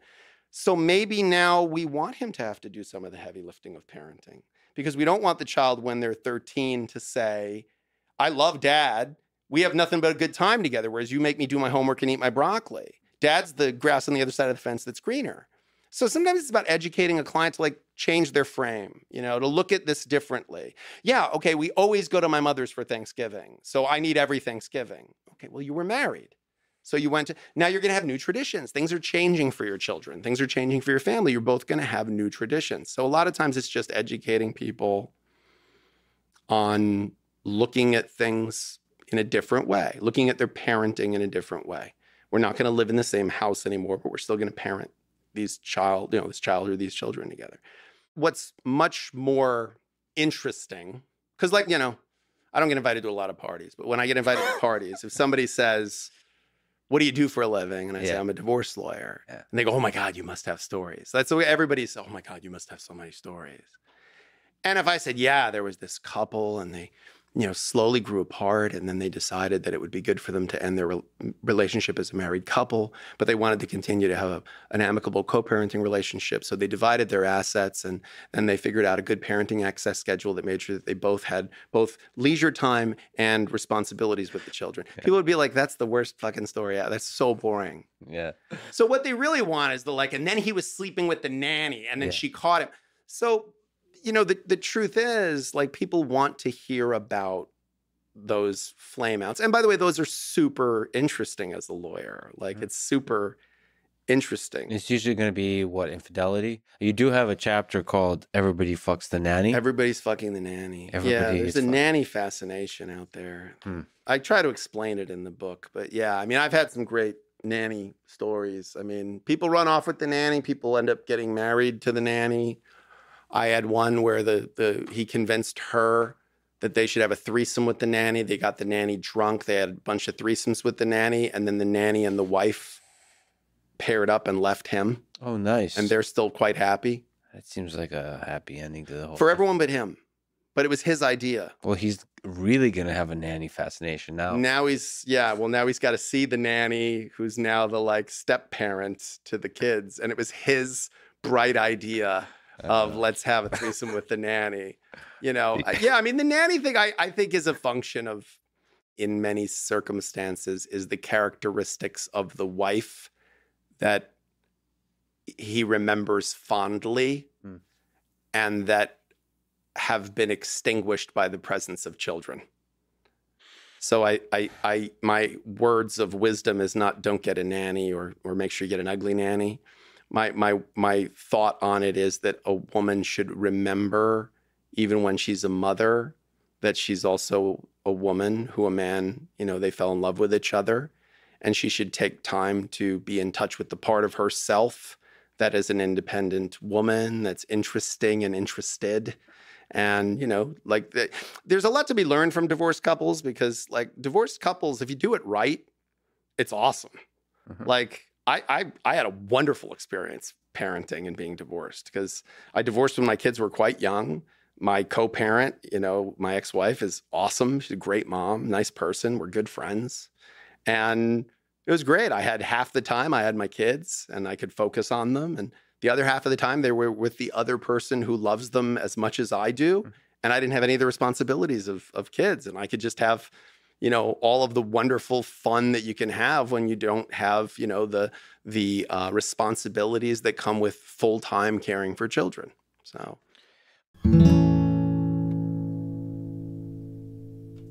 my, my mom used to say that it's hard to define intelligence, but you could spot stupid a mile away. yeah. so I'm much better at at pointing out where people fall apart because I spend a lot of time with people who have fallen apart in their relationship. So it's easy to then say, well, just don't do what they do. But I don't know that that's not an oversimplification. Um, so again, I, I think the answer is connection. I think the answer is um, affection, presence, you know, mindfulness and presence. I, I do think in my personal and professional experience that most people want you fully more than they just want you in a disconnected way. So if you were to say to your romantic partner, you can have me for two hours where I'm giving you my undivided attention and I'm really joyful to be with Mhm. you. Or you can have me for eight hours where I'm sort of half paying attention and I kind of want to be someplace else for part of the time. There's just no choice there. It's so obvious. So I, I think presence is a big piece. And I think that um, I think the the you, the me, and the we, I think is important. Because I think in relationships, there's you and there's me, and we meet. And something magical happens, you know? And we become we. And now there's you and there's me and there's we. And then the we gets bigger and bigger and bigger. And isn't it great? Because it's such a nice, warm place. It gets so big. But it gets so big that you get small and me gets small because we. And if any of us dares to ask, well, what about you? What about me? No, no, the we. What, you don't like the we? You don't want to be with the we? Like, whoa, whoa, no, it's not that. But the we only exists because there was you and there was me. Mhm. And I really like you and you really liked me. And so we picked each other out of lots of choices. And now this we is so fucking big. Like it threatens to, to just consume all of it, you know? And I, I really think that there's something there we have to look at more honestly. So we should not consume everything, but it at the same time not be small. Well, the we is the you and the me. And if you if you mix it so much that you and me loses its its you know its components that all that's left is we like i don't think that that's the way to do it i i, I just think there's a the world pulls us in that direction. Like we, we get told culturally that well why aren't you going with this person to that? Why would you do Yeah, that by sure, sure. yourself? And and why? Why why? Like anyone knows that there's joy in being away from each other and there's joy being reunited together. So why why don't we you know speak very honestly about that? You know it's very and I think some of that's our own insecurity you know well why don't you want to be with me 24 hours a day aren't i wonderful aren't i delightful it's like well wait what you know I mean, it can also be incredibly adventurous going Right. out into the world by yourself and then coming back to the we with a full report. Yeah. You know, coming back and saying, like, oh Yeah. my God, guess what I saw? Guess what I did? Oh my God, we have to go there together now. Mm-hmm. Because all I could think about was you. Yeah. You know, while I was there, I was like, oh my God, she would love this. Yeah. You know, like that's magical. Mhm. That's amazing. Like, like I look what I brought you back. You know, I went and for this and then I got you this present from there. Yeah. Like there's something, you know, and, and we know this, you know, I, I I always thought it was, you know, like when you watch the old westerns, you know, or like the, you know, the heroes leaving, you know, and he's walking away from the cabin because he's gonna go Yeah. fight the gunfight, and she runs up and she goes, "Please don't go, don't go, stay here with me." And Yeah. he like kisses her, and then he goes. Yeah. You know, if he goes like, "Yeah, you're right, I'll just stay here. It's cool." You know, like this is I didn't want to deal with that anyway. Like he's not the hero anymore. Then Yeah. yeah, there's deep truth to that. Uh, and probably, like you mentioned, sex, sex is probably a big part of it. Friendship. That seems to me like a really important one. depends on how you define friend. Like I, I you know, I, i- if if being a friend means we have some connection to each other and we have each other's cell phone numbers, okay, then we're friends. But if it's a bigger definition than that, if it's like you've picked me up at the airport, you know, or like I, you know, you're someone I could call. That it's Yeah. like, dude, I gotta hide a body. Like you get shovel and lime. I like know? how you uh, escalated from airport pickup Yeah, well, to, those- I- to murder. Yeah, I try to go You're the two true true Well, I, I have to tell you, I, I define, you know, the Ben Affleck movie, The Town. Mhm. You know, that scene, that's friendship to me. I mean, to me, the the ideal male friendship is the scene where he says, "I need you to come with me. We're going to hurt some people, and you never have to ask me about it again." Oh yeah, And he says, "Whose car are we taking?" yeah. And that's sort of like to me, that's friendship. Mm-hmm. So it's a it's a high bar, you know, to be like a friend. So when you say like friendship, I I think that's the kind of friendship you should ideally have with your romantic partner. If you're getting married, it should be the like, whose car are we taking? Like it should be that it's you and me.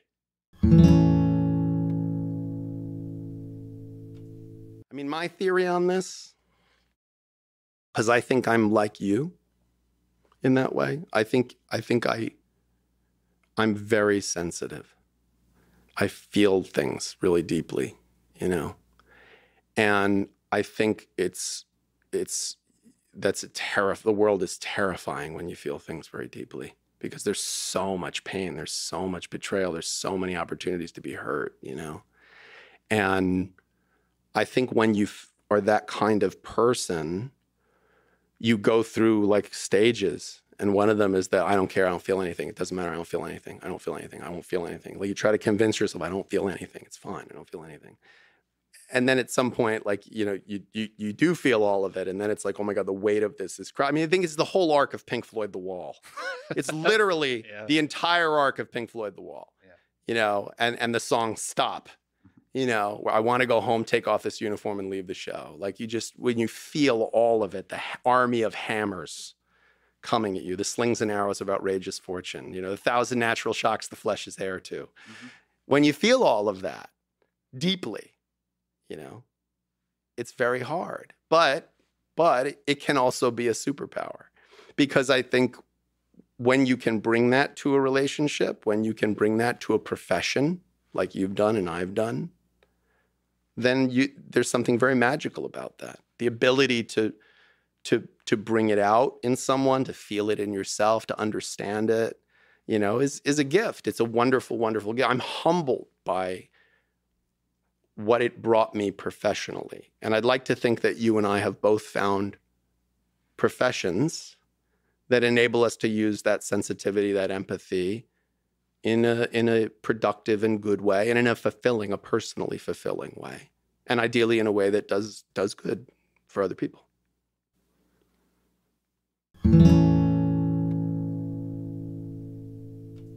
That's a good question. I think um Is it all the same stuff, or there's something special when they're busier? Well, you know, I, I think when you represent high net worth individuals, but also high performing, I would make a distinction between high net worth and high performing. So I, I've done high net worth divorces where the person's like a trust fund kid, Ah. even though they're an adult, you know, but they're like, they're what they did to achieve their high net worth status is their great grandfather died Sure. you know so that is different than someone who is self-made who through discipline focus entrepreneurship you know whatever it might be um, that that that they have found success. And there's also a difference between financial success and fame because I've represented famous people that actually did not have that much money in the scheme of things or much liquidity. Um, and I've represented people that that were not in any way famous and were very high performing in their field. Like in New York, we have a lot of finance people. So, Mhm. and what I find is um, their divorces are challenging.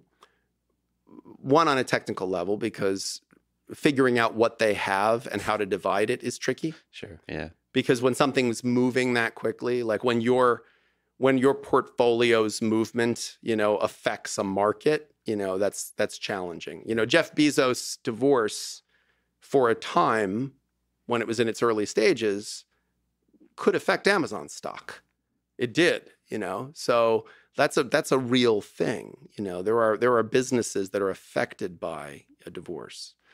But in terms of of being in a relationship with someone who um, who is a high performing person you know most of the high performing people i know are creatures of discipline and routine you know from from a, a joe rogan you know we've talked about you know any of these people like they have a routine they have a discipline they have a focus they have a way they like to do things they have a type of coffee they like to drink they have a way that they like to do and and divorce is a tremendous disruption. I mean divorce is fundamental things in your life are shifted out of your control. Like your spouse may be the one who has decided you are no longer going to live in that house you will no longer see your children on these days so to take that control away from someone is very very hard i mean when someone is a high performing, high net worth person, they are used to being told yes. They are used to being able to buy their way out of a problem. But just like illness, Yep. you know, I you can get you can hire the best doctor, but you can't cure cancer because you have a lot of money. Like you can hire the best lawyer, but you can't cure a custody case, you know, and that's I mean, Angelina Jolie and Brad Pitt's seemingly endless custody disputes that have been going on for years now, with the best lawyers in California working on them, is proof of the fact that you can't just buy a resolution to those things, you know, that you have to go through it just like everyone else. So that lets me ask the question of how much does a divorce usually cost? It's a great question. Uh, average divorce, I mean, it's sort of like a what I always tell clients in the first consultation Mhm. is I tell them the most reasonable question a person could ask me sitting in that chair across from me is two How long is this going to take? And how much is it going to cost? And those are two questions I can't answer. And then the next thing they say is, Give me a range, which is a bit like calling your doctor and saying, I have a headache. What is it? Well, I can't tell you. I'd have to do tests. Give me a range. Okay. It's a reaction to the barometric pressure and it'll be gone in 15 minutes. or it's a uh. brain aneurysm and you'll be dead in five minutes. There's your range. And so it didn't really help, right? Yeah. So I I I have the least expensive divorce I've ever seen is two people who who one of whom comes into my office and says, "We've written down on a yellow pad what we figured out at the kitchen table. She's going to keep the house. I'm going to keep the 401k. We have a bank account at this bank. We're going to split that 50 50. I'm going to pay her this much in child support each month. And we're going to agree from time to time on what we're going to do in terms of the schedule with the kids, but they're primarily going to live with her. Can you write this up and make it legally binding? Yes. 3500 bucks. Yeah. I've had clients who, with a straight face, will say to me, like, well, I'm not going to quibble over a few million dollars. And they mean it because to them, it's numbers on a page. So I'll personalize this a bit. So I, I have a friendly relationship with my ex wife, who's the mother of my sons, who are adults. And we have maintained a very good relationship. And so now it's many years divorced later, 17, 18 years later. And we were able to sort of post game that relationship, even our co parenting relationship. You know, we kind of post game it when we chat with each other. And I remember once saying to her, you know, yeah, you never, you know, you never like screwed around with me when it came to the kids. Like you were always so like cool, you know, like like if I called you, like if I was having a really bad day at work, Mm. And I or like seeing just an ugly custody case, and like it just felt like I would call her and say like, hey, can I just pick the boys up and like take them out for ice cream or something tonight? I know it's not my night, but would you mind if I just like took them out for a couple hours? She'd be like, yeah, sure, come on by. You know, she was always flexible like that. And I said to her like, what was that just goodwill? Like you're just a good person? Or like, what was that about? And she was like, yeah, it was partly that, but she was like, it was partly that like you never screwed around with me when it came to money. Like if the kids needed something, or if I needed something as the mother of the kids, like you were always like, yeah, sure, of course. Like I, her air conditioning kicked out and she needed to replace it and she didn't have like liquidity at the time. And I didn't have a lot of money at the time because it was a long time ago. And I was like, all right, no, no, because I don't want you hot and upset and I don't want the boys, you know, to be in like, of course. And so I, I think, yeah, when you when you approach a conflict with like it's very hard to argue with someone who won't argue with you.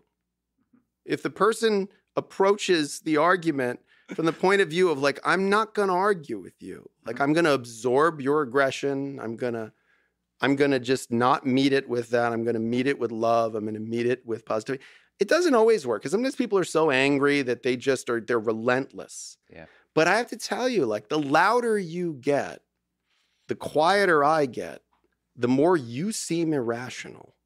You know, and and that's what I, I always try to bring that to court proceedings. Like I always try to bring to court. Like if I know my adversary is coming in hard, I'll come in quiet and slow and deliberate because I want the volume to be turned up way too high over there.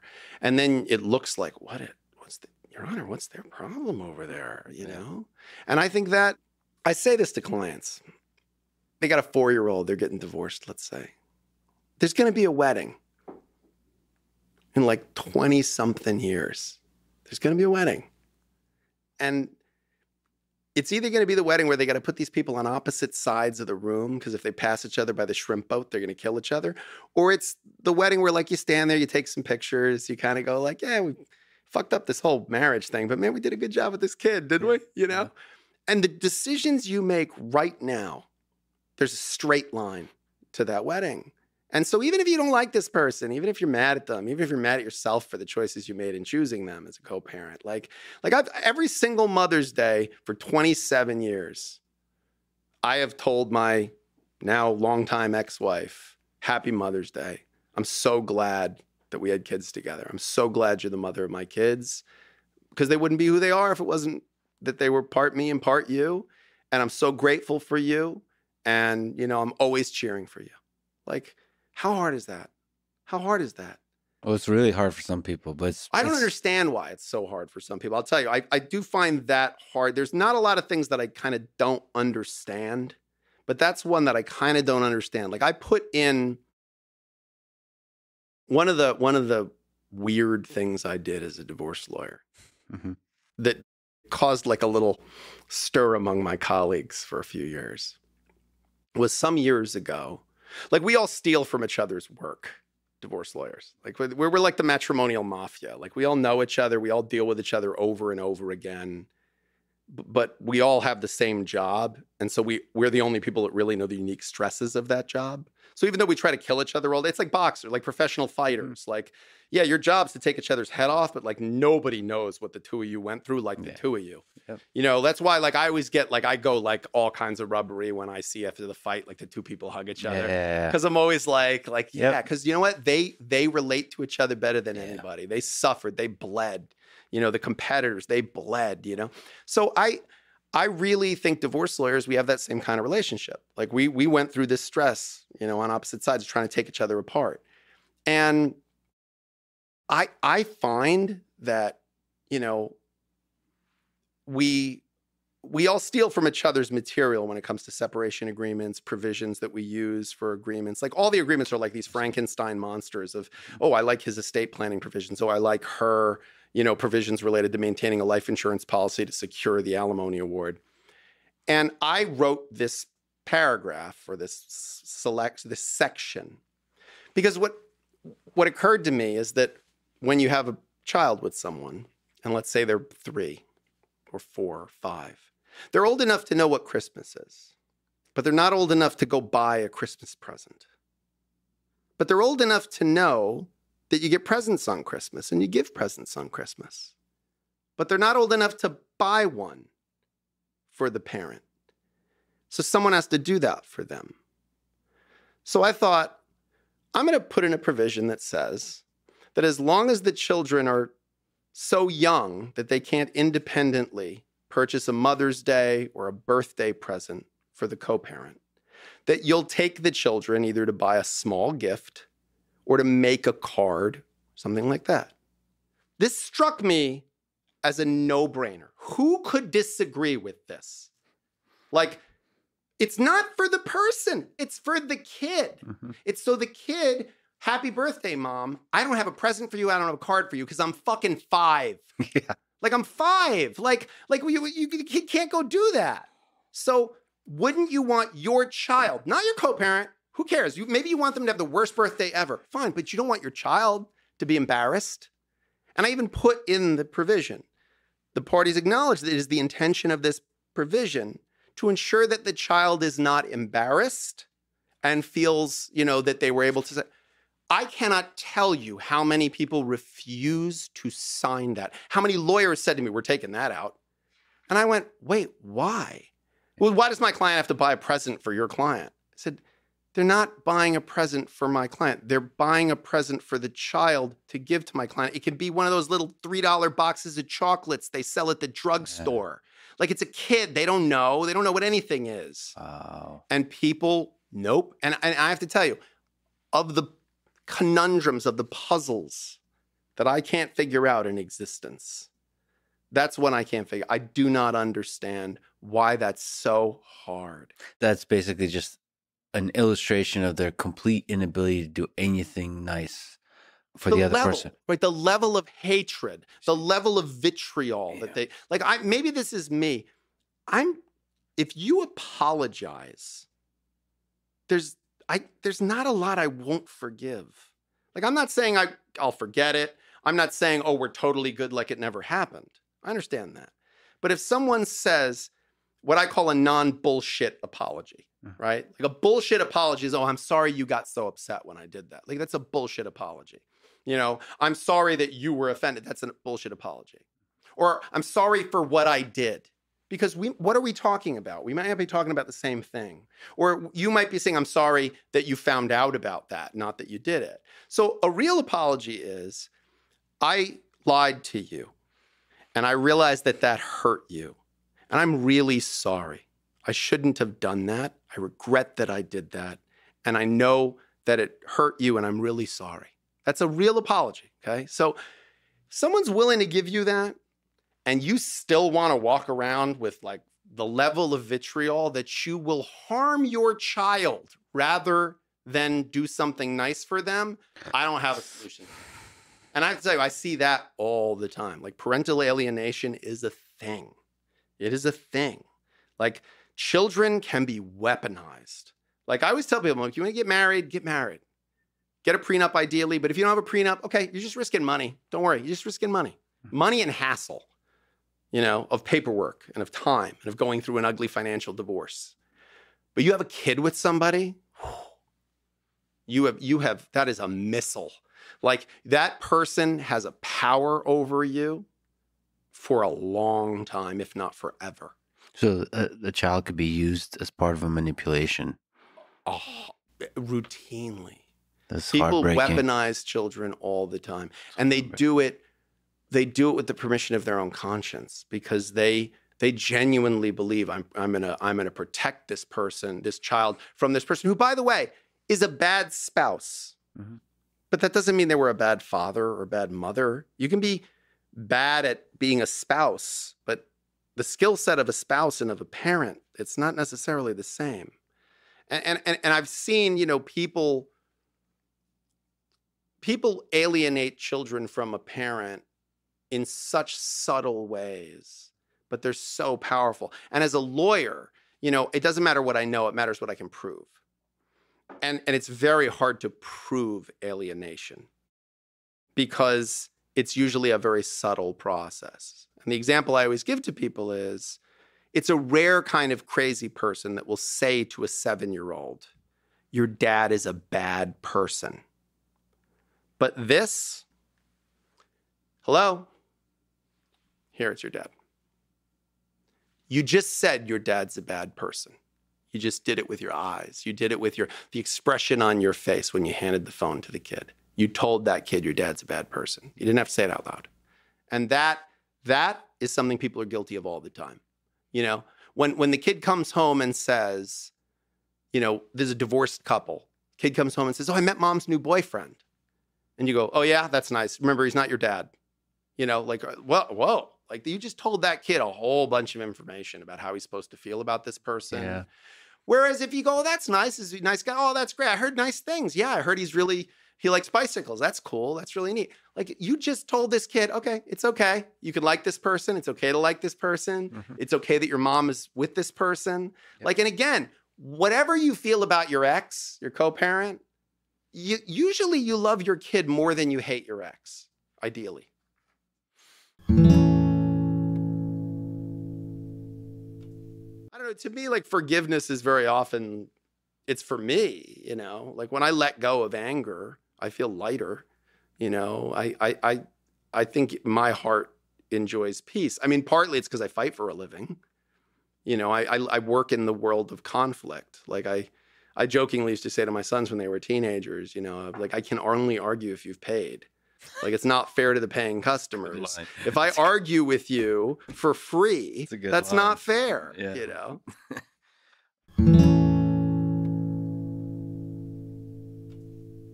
So so So the cheap, and you were saying the cheapest one was the yellow. yeah, paper. yellow pad, two people Yeah. came to an agreement, write it up, make it legally binding, five grand maybe, you know, tops.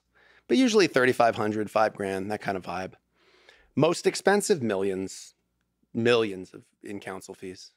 And that's because of the duration, the complexity. yeah, the duration, the people. complexity of issues. Like I have clients who've paid two, three million in counsel fees to me.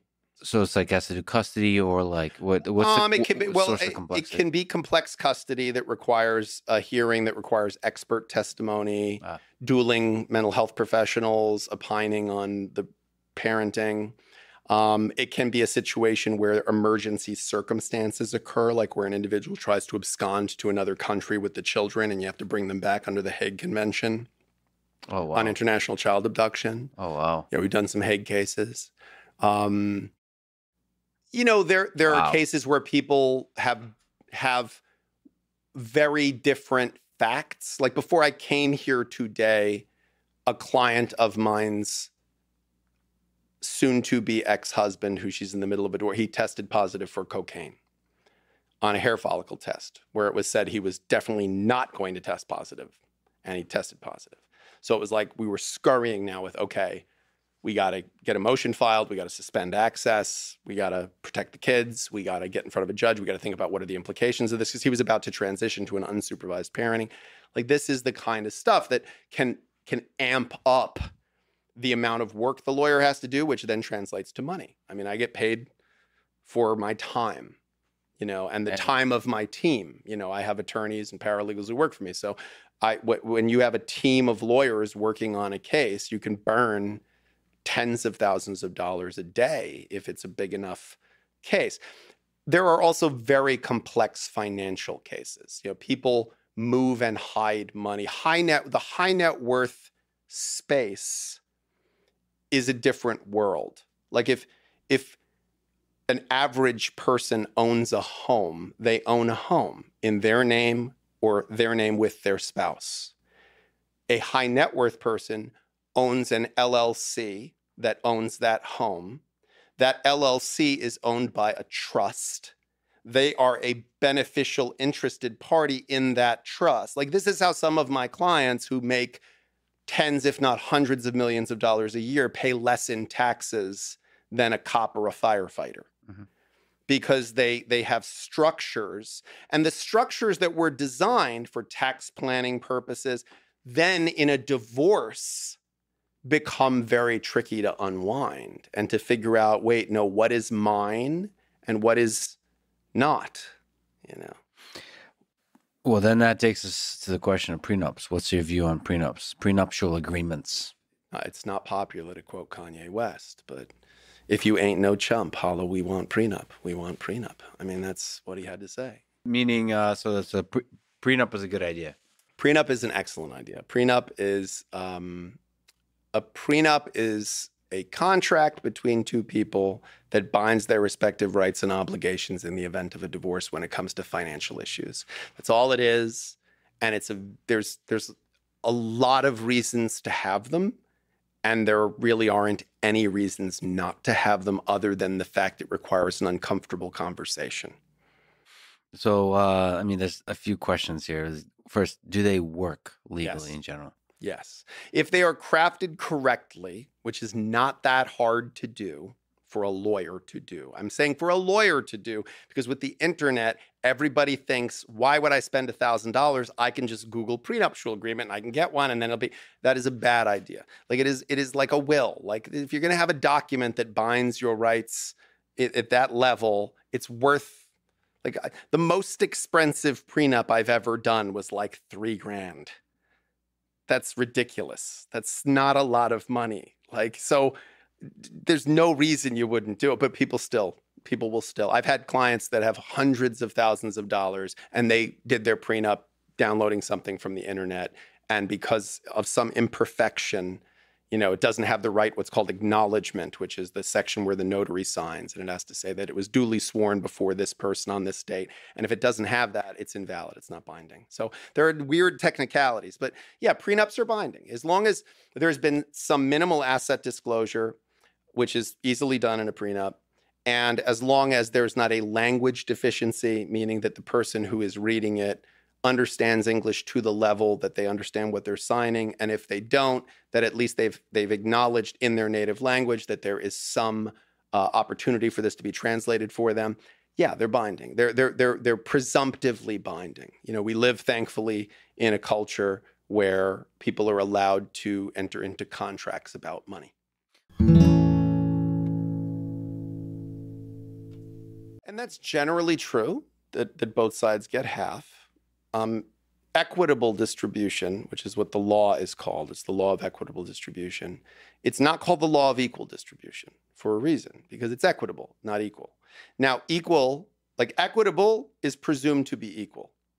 But there are exceptions to that presumption, and that's where lawyers can get into fun and or trouble, depending on how you view it. Um, it's where we make our money. We make our money arguing that the fair result will not be just a 50-50 split. And so um, there's there's the very generic standard prenup, which is easy. And I, you know, that's I call that yours, mine, and ours. Like if it's in your name, it's yours, whether it's an asset or a liability. My name, it's mine. Joint names, we split it 50-50. Simple, clean. And you go in to the marriage now, knowing what the rules are. So if you get a bonus at work and you put it in your sole name, then it's your separate property in the event you divorce. Mm-hmm. You go out and buy a boat and she doesn't support you buying the boat, but the boat, you got a big loan on this boat. Mm-hmm. You're responsible for that loan. So I like that because I like people having some control. And I also like people having to have discussions.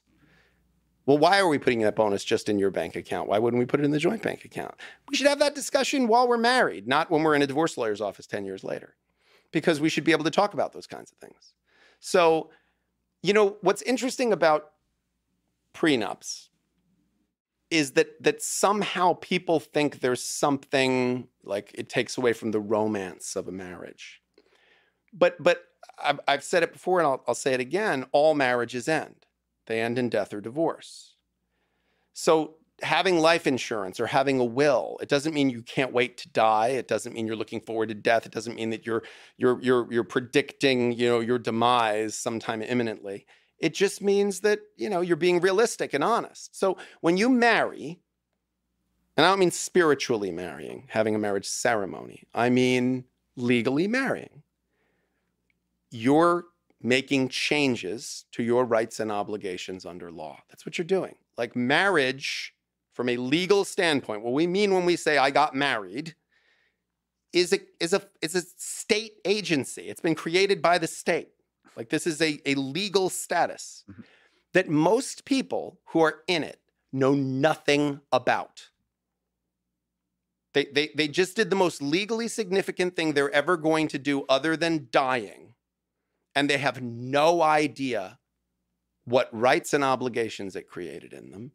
And the first time they're going to get an education about it is in my office. That's crazy. when they get divorced. That's crazy. And so prenup is an opportunity to learn something about it at the start. So first of all, it, whenever someone approaches me about prenups, and and that's like four or five times a week probably, depending on the season. Right before wedding season, we get a lot. What, Like- when, like- when's wedding season? well, it used to just be the summer. You know, it's say they say when you marry in June, you're a bride all your life. That's from some Rodgers and Hammerstein musical. Mm. Um, now the fall is very big too. People love fall content, fall weddings, pretty you know pictures and things. Fall Content. Yeah, fall content. It's good on the Hashtag gram. Fall content. Yeah, All it's all right. for the gram. That's Yo, a listen, hashtag. Weddings is for the gram. I have to tell you, weddings is performative, man. See, the problem is though, it's curated. So you, you a, here's us picking the cake. It's not here's us doing the prenup. You know how many you know how many people I've done prenups for Mhm. that I've watched on their social media or them being interviewed by Andy Cohen on Bravo Mhm. and saying, "Well, no, we don't have a prenup." Yeah, you do. Yeah, you do. You do. It's in my office. It's in a folder. Yeah. They have don't prenup. know. That's beautiful. But prenups are not published anyplace. They're not filed with a court. They're maintained by the two people that signed it and their lawyers. That's it. So nobody has to admit that they have a prenup. Beautiful. But it's but there's a yes, but there's a certain problem with that insofar as a lot of people have prenups and we need to normalize prenups. Mhm. Like there's no reason not to normalize prenups. There's no reason not for for for until some famous people say, "Yeah, we have a prenup. We're crazy about each other. That's why we're getting married." You know, but yeah, look, we're getting, you know, I don't want to get a car accident, but I got a seatbelt. You know, like you have it just in case.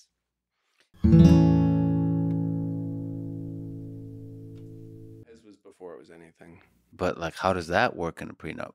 Like, Well, no, actually, it's it's the same. I mean, what you're what you're doing with a prenup is you're identifying you're identifying how things will be classified in advance. So you're creating a set of rules. And then you both can function under those rules during the marriage. So, like I, for a brief time, I taught a, a, a family law drafting class at a law school. And when we would do separation agreements and we would do pleadings, you know, it was lots of fun. When we would do prenups, I would say to the students, you know, what's the main thing you need when you're doing a prenup? And they would say, well, you know, you need asset disclosure. And I'd say, well, that's not the main thing. And they'd say, well, you need, um, you know, technical language. I said, nope. Main thing you need is a crystal ball. The main thing you need is the ability to see what's going to happen in the future. Who's going to have money? Who's not? Who's going to be successful? Who isn't? What people will inherit? Problem is, we don't have that. We don't have that. So, what can we do? We can create tranches, we can create structures, we can create systems, and then people can live with those in mind. You, you enter the game knowing the rules, right? So, you know if this is going to be a submission only event. You know if this is going to be no time limit. You know if we're after a certain number of minutes, we're going into points now. Okay. So I can work with that rule set and I'm going to amend my game based on that rule set. Mm-hmm. Same thing. Same thing. You're just going to say, look, what's the rule set? Let's agree on the rule set. And then let's conduct ourselves with the rule set in mind. Let's plan with the rule set in mind. And I think that, you know, and by the way, and if you're going to cheat, you cheat with the rule set in mind. You know you're cheating, right? You know you're trying to get around the rule set.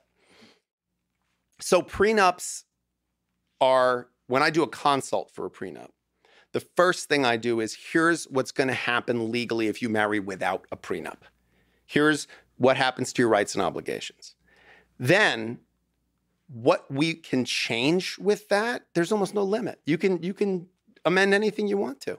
The example I always give is there was a case that went up to the appellate court where a high net worth guy married a very beautiful woman and there was a provision in the prenuptial agreement that said for every 10 pounds she gained during the marriage, she would lose $10,000 a month in alimony if they divorced. And there was a, here's her baseline weight as of the time of execution of this agreement. And I wondered if she was like a like did like what a wrestler does. Like did she like, you know, yeah. Well, did she like bulk up right weight? before and then cut when she eventually got divorced? Like is she in there sauna, you know, with the suit on? Um, but but the and and the appellate court essentially said, um, I don't know why you married this person, having had them make you sign this, but it's binding. Yeah. But it's binding. Yeah, You I- I- the Well, motivation. keep, like some motivation on you. Yeah, exactly. yeah, That's we that, keep you very that, kind of prenup is motivating. Well, what's his name? I think Tim Ferriss says that about how he does like um he said you should make bets with people. Like Yeah. it's like if you gain this much, I got to give you this amount of money, you know. I think Yeah. he says that in one of his early books. and try to make it binding somehow, which is Yeah. tough. Yeah. Should- I think when we create incentives of that kind, you know, that's why like there was like the no nut November, no shave November, you know, sober, like all this. Yeah, It, it was a competition. When people make a competition of something, they gamify something. It, it you know makes it something that people are more likely to stick with. So, I mean, I guess a prenup be interesting. There, you know, the, the problem is there. There's also people put in prenups what's called fidelity clauses. uh oh, Yeah. yeah, it was yeah, Fidelity clauses, uh, people still do these. I discourage people from doing them. They're the two things that people put in prenups that I discourage people from putting in prenups, but very often people still put in prenups, even with my caveat, is fidelity clauses and sunset clauses. hmm So fidelity clauses is um, I'm waiving alimony, I'm waiving this, I'm waiving that. But if you cheat, I get a million bucks, or I get this much alimony, or I Mhm. get this amount. And I know the intention is to disincentivize the person from cheating. It's Mhm. a deterrent to have them cheat. Mhm. But all it really does is just creates like an interesting legal battle for lawyers. Like, how did you prove that they cheated or not? All right, because uh, what what yeah, what constitutes cheating also? Right.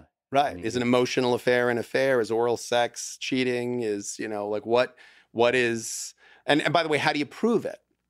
Like, well, I was in a hotel with her, but how do you prove that I had sex with her? You know? Like and and it's it's very, very um you're opening a can of worms with that kind of a thing. But people sometimes still put them in. Um and sunset clauses. Sunset clauses is if we're married X period of time, this goes away, as if Mhm. it never existed and why is that a bad idea? the same reason the community property law in California is a bad idea. So the community property law is after a certain number of years, I think it's seven, everything, including your premarital property, all becomes marital property. Mhm. And the idea of that was supposed to be that if you've been married that number of years, like you're in enough of a serious relationship now that everything is one unit, you're one person. What it actually does is creates a very uncomfortable thought experiment that people have to have at the six year mark. Because you have to, now the honeymoon's kind of over. You might have a kid or two. And you go, okay, wait a minute. Am I so happy in this relationship that I'm willing to take all of my premarital assets and throw them in the pot right now? Because if not, I got six months to get divorced. Yeah, Like, and that's not so. Like, if you say to someone, like, if you got married tomorrow, and then you found a company that's worth a hundred million dollars, and under your prenup, that's your separate property, but there's a sunset clause that says that your prenup goes out the window in 15 years. Man, at year 14 and six months, you got to ask yourself some serious questions about where's this relationship going to be in five, 10 years. Yeah, I mean, what I wanted to say is that all infidelity is not the same, that there's different kinds. And some of them are more obvious than others. Like there's the the soulmate, Hmm. you know, uh, that's the one I think I see most often, which is a person meets another person or rekindles on social media or elsewhere a reconnection with another person in their life. And they go, oh my God, this is the person I'm supposed to be with. I'm in love. The heart wants what the heart wants. Like I'm I'm leaving you for this person because I have found my true love. That's one type. And it's an incredibly common type. And there's a you know, there are plenty of cautionary tales associated with that where people thought that they found their someone and then it turns out it was, you know, no, it was just an affair, you know. Um, and and and you know, a, a man who leaves his wife for his mistress just leaves a new job opportunity open.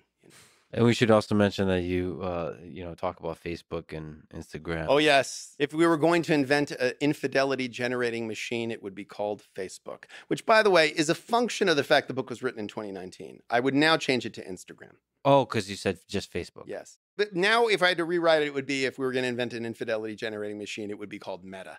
That would be what I would have. Yeah, there you go. Yeah. Yeah. Very tech forward. it's a was a function of what Facebook and I think Instagram also are, which is it is a communication tool that has people looking into windows that I think are antagonistic to marriage. You're looking into the lives of other people. You're looking into um, the social lives of people that you meet casually. So there was a time where you would be at your son's soccer practice and see the attractive mom across the way and you wouldn't really talk to her, interact with her. If you did, it would just be at practice. But now we add on social media those people because for legitimate reasons we need to maybe communicate about when practice is or we want to message the person. But now it's sort of an invitation to a connection. And then it's, you know, there's a picture of her on vacation in a bikini. That's very intriguing. And then you have a benign, oh, I saw you guys went on vacation. Where did you stay? You know, oh, was it good? Did you like that? Oh, that's nice. And now we're talking and now we're having an interaction. And now this is how the spark of affairs begins. It's usually, people don't usually meet and go, would you like to potentially wreck your marriage? Yes, would you? Oh my God, let's do this. Yeah. Like it's much more, you know, it slowly happens. So when I talk about types of infidelity, the soulmate, the unexpected soulmate, you know, this connection that you didn't expect. I didn't expect to fall in love with this person, but I did, and the heart wants what the heart wants, and I'm sorry. That one's tough. That one's tough because, you know, it's a, an interesting distinction between men and women to some degree. That when a man finds out his wife was cheating, the question is, did you fuck him? And when a woman finds out that a man cheated, the question is, do you love her?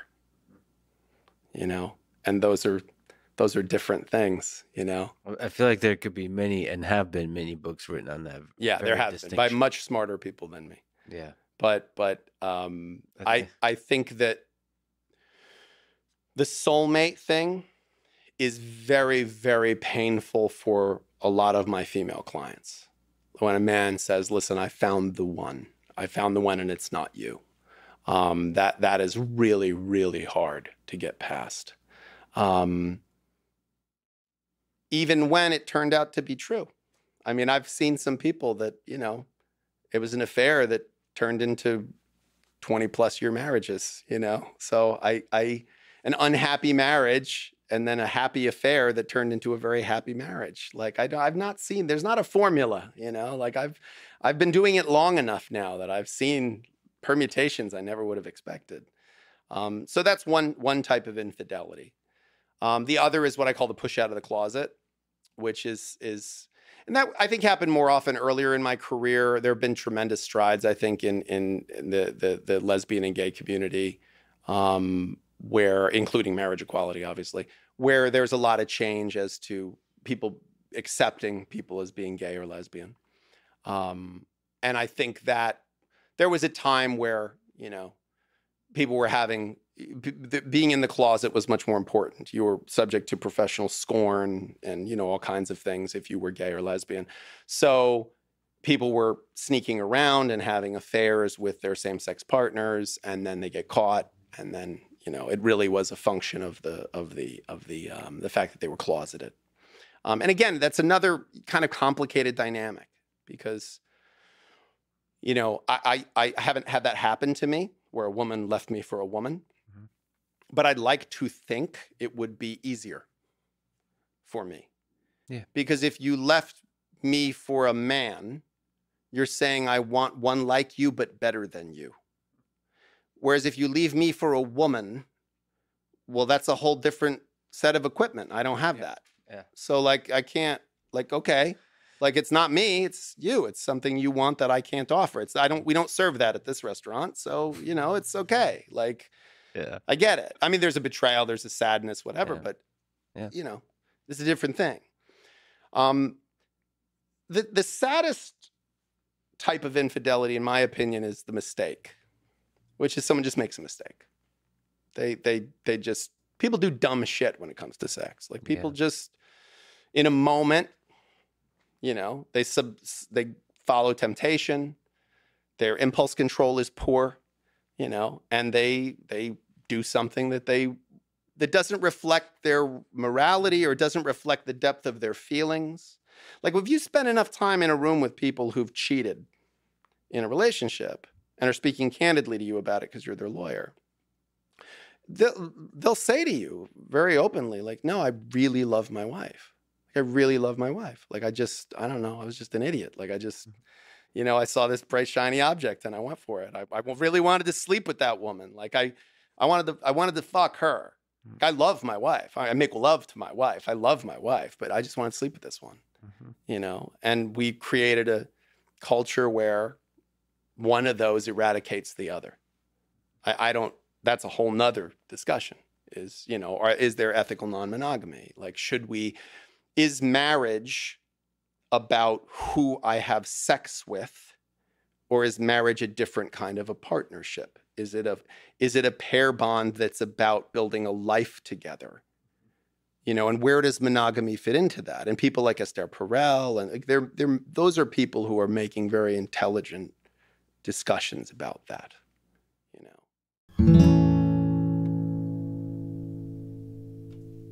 Well, let's see, and this is one of those like, from a research perspective, this would be flawed because I see the, they're in my office because their marriage is falling apart. Yeah. So there may be lots of people having open relationships that don't end up in a divorce lawyer's office, so I'd never meet them. Yeah. But I meet a lot of people that that was the Hail Mary pass. Sure. Like I meet a lot of people that they tried that, but it in retrospect it was a Hail Mary pass. Yeah. It was like, uh, look, we've just figured let's try this. You know, like maybe it's maybe this will this will keep the glue together on this thing, you know. And and um and I've also seen open open relationships go wrong. You know, where we agree we're just going to have sexual connections with other people or we're going to bring other people into the bedroom Mhm. um, but together like we're going to be together with other people or with another person and then the, that connection of those two people like it, you, you think it's a soulmate all of a sudden now and it goes in this other because and again is that novelty? Is that like it's the reason why i don't understand why people have threesomes. It's kind of like you know when someone sings to you i don't know where to look. Like i don't know where to look. Like if someone's singing to me i don't know where to look. Like it feels weird right? Yeah. like this is a conundrum i this is no this i'll say Uh, this yeah. too this will never but Yeah. I, I it's the reason i can't go to strip clubs Yeah. I don't know where to look. Like if I go to a strip club, you know, like you go to a strip club and and there, there's you know the part where they the woman's on the stage and she walks past each person, she does a little Yeah. thing, and then next person, and then next Yeah. little thing. So when she's right in front of you, I like a woman's face and I like a woman's body. I like both of them. So I'm looking at the woman's face, and she's very beautiful, but she's naked. And I think, oh, she's naked. I should be looking at her naked body because obviously that's like, it's almost rude not to because she's naked in front of me, of course. So then I'm looking at her naked body, which is lovely to look at. Mm-hmm. But then I find myself going, oh my God, you're just still, like, you should look at her face for God's sake. Yeah. And then I look at her face and, and find myself having Yeah. this whole thing in my head where I'm going, like, oh my God, where am I supposed to look? So uh, I think a threesome with two women you don't hardly know or you're not, that's different. But a threesome with a long term partner hmm who you're in a relationship with Mhm. and a new person seems to me a very dangerous ground because you're going to want to enjoy the novelty of this new person, but you're going to have to spend time with this person after. So, how much attention do you spend to the new novel, exciting thing without creating the impression that you don't, you're not interested in this because you want, you're my favorite person, but this is fun. So I want to just try this for a few, but then also I don't want to forget about that. Like it, it just seems. And there's a there's an easy way to misinterpret the data, right? Like so if I'm if I really like sleeping with my partner, but I get one chance to sleep with this other person, like, well, of course I should indulge in that because I can do this anytime. Like what did you know, but but this person, my partner, might interpret that as, oh, so you're more interested in her than me, because mm-hmm. that voice in in my partner that would be, you know, insecure might hear that. You know, so I, I just why would you even why would you open yourself up to that level of chaos? You seem to love chess in the courtrooms. It's a kind of uh, intimate human chess of sorts. Yeah, no, that's that's too high risk. How do we get on threesomes? Oh, open uh, open marriages. Well, we got how do we get on threesomes? I don't know. I always wonder how people get on threesomes. Um, I, I figure they like if one is fun, two must be better. If two is better, three must be better. Um, I- yeah, I I think we we the way that that this becomes an issue is why would you have a non-monogamous relationship? It, it- what is it about your sex life with this person that's not satisfying? And I think that that is the question that's harder to ask yourself and to try to answer with your partner. I think it's unrealistic. It's a true romance, right? Mhm. The uh the document of that we keep referencing here. I think it's wonderful that we do because sometimes now people don't get that reference anymore. Like I, I talk to people in uh, when I try to teach negotiation to young lawyers who come work for me. Mhm. I tell them to watch the Gary Oldman scene where he offers them the Chinese food Yeah. Why why is that scene the one that really because it's the best negotiating lesson I've ever heard in my life. Where where where he comes in, he's he, know, Oh, you'll- just, you'll just recall- for the record. yeah, Gary Oldman plays a pimp. Yes. and he owns his girl is Patricia Arquette, right? And Christian Slater's character, the protagonist, is coming in to tell Gary Oldman that he no longer owns this girl, Alabama is her name. Alabama. Alabama is going to be with him now. And Gary Oldman is a, a amazing performance. Mhm. And he's sitting in a living room with a shotgun next to him, with armed guys around him, watching television and eating Chinese food. And he's got Chinese food laid out in front of him. And Christian Slater comes in and he says, I need to talk to you about Alabama. And, Chris, and Gary Oldman says, Do you want some Chinese food? And Christian Slater sort of taken aback by the question. He says, No, I, I, came to talk about Alabama. She's with me now. She's there. And he proceeds to tell him what his offer essentially is. And Gary Oldman says, You know, you fucked up, right?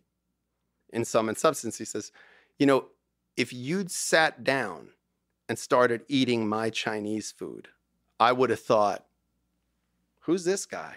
He didn't have a care in the world, just sitting down eating my egg foo young. Mhm. But instead, you tried to be hard, and now I know you're full of shit. And so I think that scene summarizes how, in negotiation, the more you enter into it with that, like anytime I deal with another lawyer and they're like, well, we'll see you in court. Okay. See you in court. Like empty barrels make the most noise. Like you and I, as people who've been in the jujitsu community, have been, I know some dangerous people. I know FBI SWAT people. I know, you know, I know people that are, they know how to do things to people. And they're the calmest guys you ever meet Yeah. in your life. Yeah. You you scuff their sneaker, they can, oh, yeah, don't worry about it, man. It's okay. Like they're quick to apology. Mhm. Like they're just chill. What uh what were we talking about? Um, we were talking about um, Oh, uh wait, true romance. Oh, the soulmate. yeah, soulmate. Yeah, well, you're saying that this idea, like, what, with that film underlying, there's this current of like they were made for each other. Yeah. I think there's a distinction between the feeling that someone is your missing puzzle piece, that you're made for this person. I think what that just means is there's a lot of overlapping, beautiful connections. I love them intellectually. I love them sexually. I love them interpersonally. We have some shared history. We have some shared commonalities. We were raised in the same culture, raised in the same religion. Like we view, we have politically similar ideas. Like these are all, or we have totally opposite ones, but they're complementary. Mhm. Like I've always joked that like finding someone with complementary pathologies, Yeah. you know, like I'm obsessively disciplined. So having a partner who's like flexible and like spontaneous is really good for me. And and also me being eh, like, no, no, no, come on, come back. We're gonna do this now. No, no, it's time to actually do this now. Push Like we're good for each other. It's barefoot in the park. You know, it's this idea of like, you know, the yin and the yang. So what I have an issue with is that the definition of soulmate that I think is sold to so many people now is this idea that if your partner is disappointing to you in any way, meaning they're not the perfect travel companion, they're not the perfect vocabulary companion, they're not the perfect roommate, they're not the perfect lover, they're not the like the odds of someone being all of those seems crazy to me. Like it, it's infinitesimally small, and they don't have to be everything. Like I, if I go to a restaurant and eat ten courses, and one of them is kind of subpar and the other nine are the most amazing culinary experience I've ever had.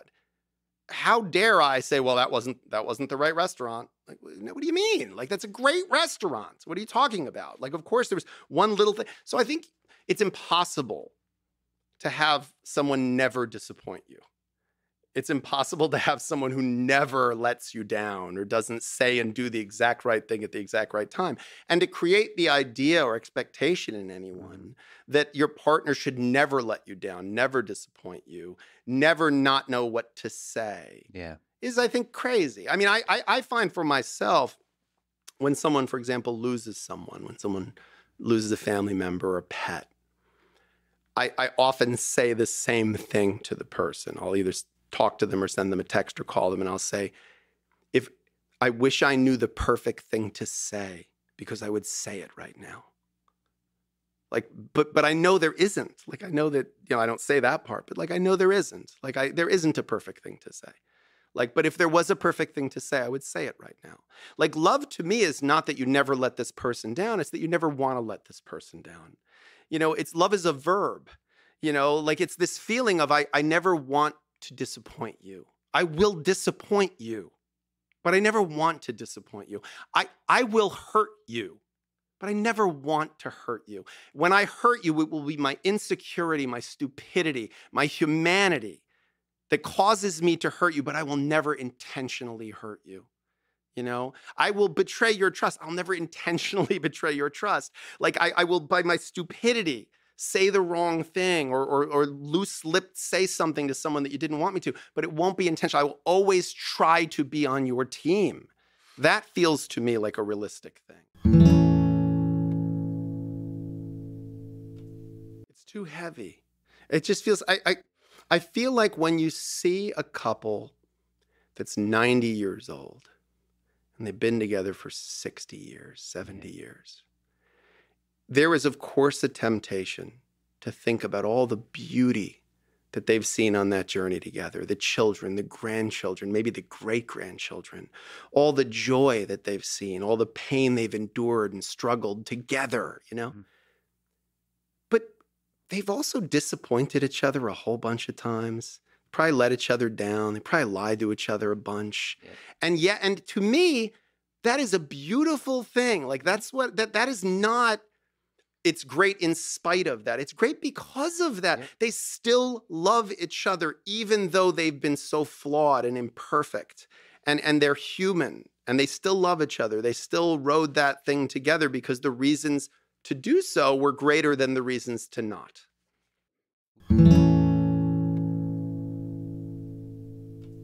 Yeah, I you know it's very. I've seen some crazy fights. Yeah. I I have uh, even on my phone. I I, I have uh, some recordings because now there's you know cameras everywhere. It's like Nest cams and you know ring cams, and so a lot of this gets recorded, and um, and people you know have phones so readily available that they can record and the other person doesn't know it.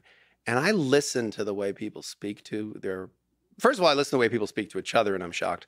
I listen to the way people speak to their romantic partner, to their spouse, and I'm I'm blown away. Like I'm blown away. Disrespect or what? Just disrespect, insults, profanity, just degradation, just brutality, just just and then like to then kind of go on like the next day you kind of go on like nothing happened. I, I don't I, I'm shocked by it. I mean I I listen to it and I think like I if someone ever spoke to me that way, I don't know that I could ever really feel deep connection to them. Like freely. I, I, would feel so betrayed, like that they just so brutal. Right. Like I can't imagine speaking to someone that way, like it's saying you you just such vicious insults to someone, you know. Like I, but I, I I understand that's how some people communicate. Perhaps I guess the the question of how much fighting is too much fighting in the relationship is for me a bit like the question how much sex is enough sex in the relationship. Yeah. It, it, it depends on the two people and their individual tastes. But what's problematic is when there is a disconnect between the two people. Like, so if, you know, there's a, I think it's Annie Hall, it's one of the Woody Allen films where Diane Keaton and Woody Allen are both talking to their respective therapists about the relationship, you know, but it's like a split screen. Yeah. And she says, I mean, we have sex all the time. We have sex like once a week. Yeah. And he goes, We never have sex. We have sex like once a week. Yeah. And, you know, it's funny because it's true. It, it, really is this, you know, they both know the same data, but they're interpreting that data set completely differently. And I, I think it, it, you know, the question you have to start asking is like, what is, you know, Steve Harvey actually once said something funny to me. He said that success is not where you are, success is where you are in relation to where you started. Yeah. He says, because if success is where you are, Oprah's got us all beat. Yeah. Or maybe Elon's got us all beat. Yeah. I don't know. But if it's where you are versus where you started, because there's a lot of people that started on second and, you know, started on third act like they hit a double. Mhm. You know, like, well, I was given 10 million, but then I turned it into 100 million. Well, the first million's the hardest. So, you know, come on. But I, I think the question of like, how much sex were we having at the beginning of the relationship, that might be the wrong gauge because that's like we couldn't keep our hands off each other and we just, it's novelty. But, you know, like how far, how much sex we're having post children versus before the children, that might be worth looking at. You know, like how do we compare it? You know, like, am I overweight compared to what? When I was 20 and running marathons or most 50 year old men? I don't know. I gotta, I gotta, like, what do you compare it to? So I think fighting, there are some people that I think they enjoy fighting. Like they enjoy argument. Mhm. You know, I know people that enjoy political debate. I don't particularly enjoy political debate. Not that I'm not very interested in political concepts, economic concepts. I just I argue for a living.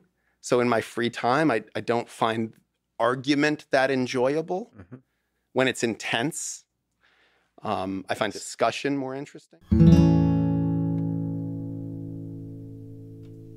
Did you ever, you know, Bob Bob Goldthwait, Bobcat Goldthwait, the comedian, very very funny, and he had a whole second chapter as like a director and a writer. But he has this, you know, I saw an interview with him once where he said, you know, yeah, he says like I'm a comedian. I've been a comedian a long time. People always come up to me and they're like, oh, you're a comedian. Do you want to hear a joke?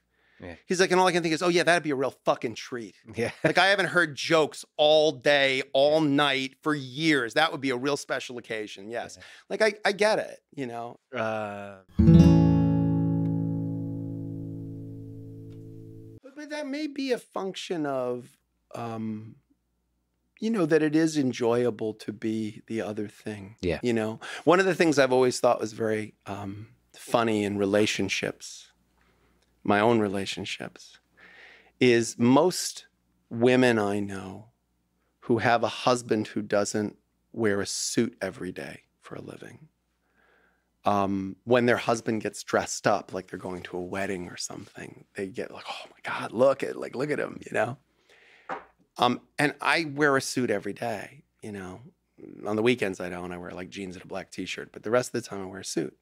And I remember, I, I think this has been true in every relationship I've been in since I was a lawyer, including my ex-wife. It, it was always like if I had on jeans and I wasn't shaven, it was like, look at you, like, Yeah. you know. It's like, are you kidding me? Like, like I'm like really? Like, whereas the suit, they wouldn't even notice. Wouldn't Yeah. even notice the suit.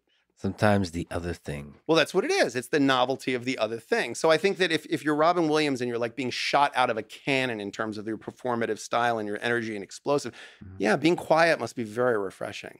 Like I imagine, you know, incredibly intelligent people must love just watching stupid humor or having a dumb. It's why some of the smartest people I know like really dumb shit.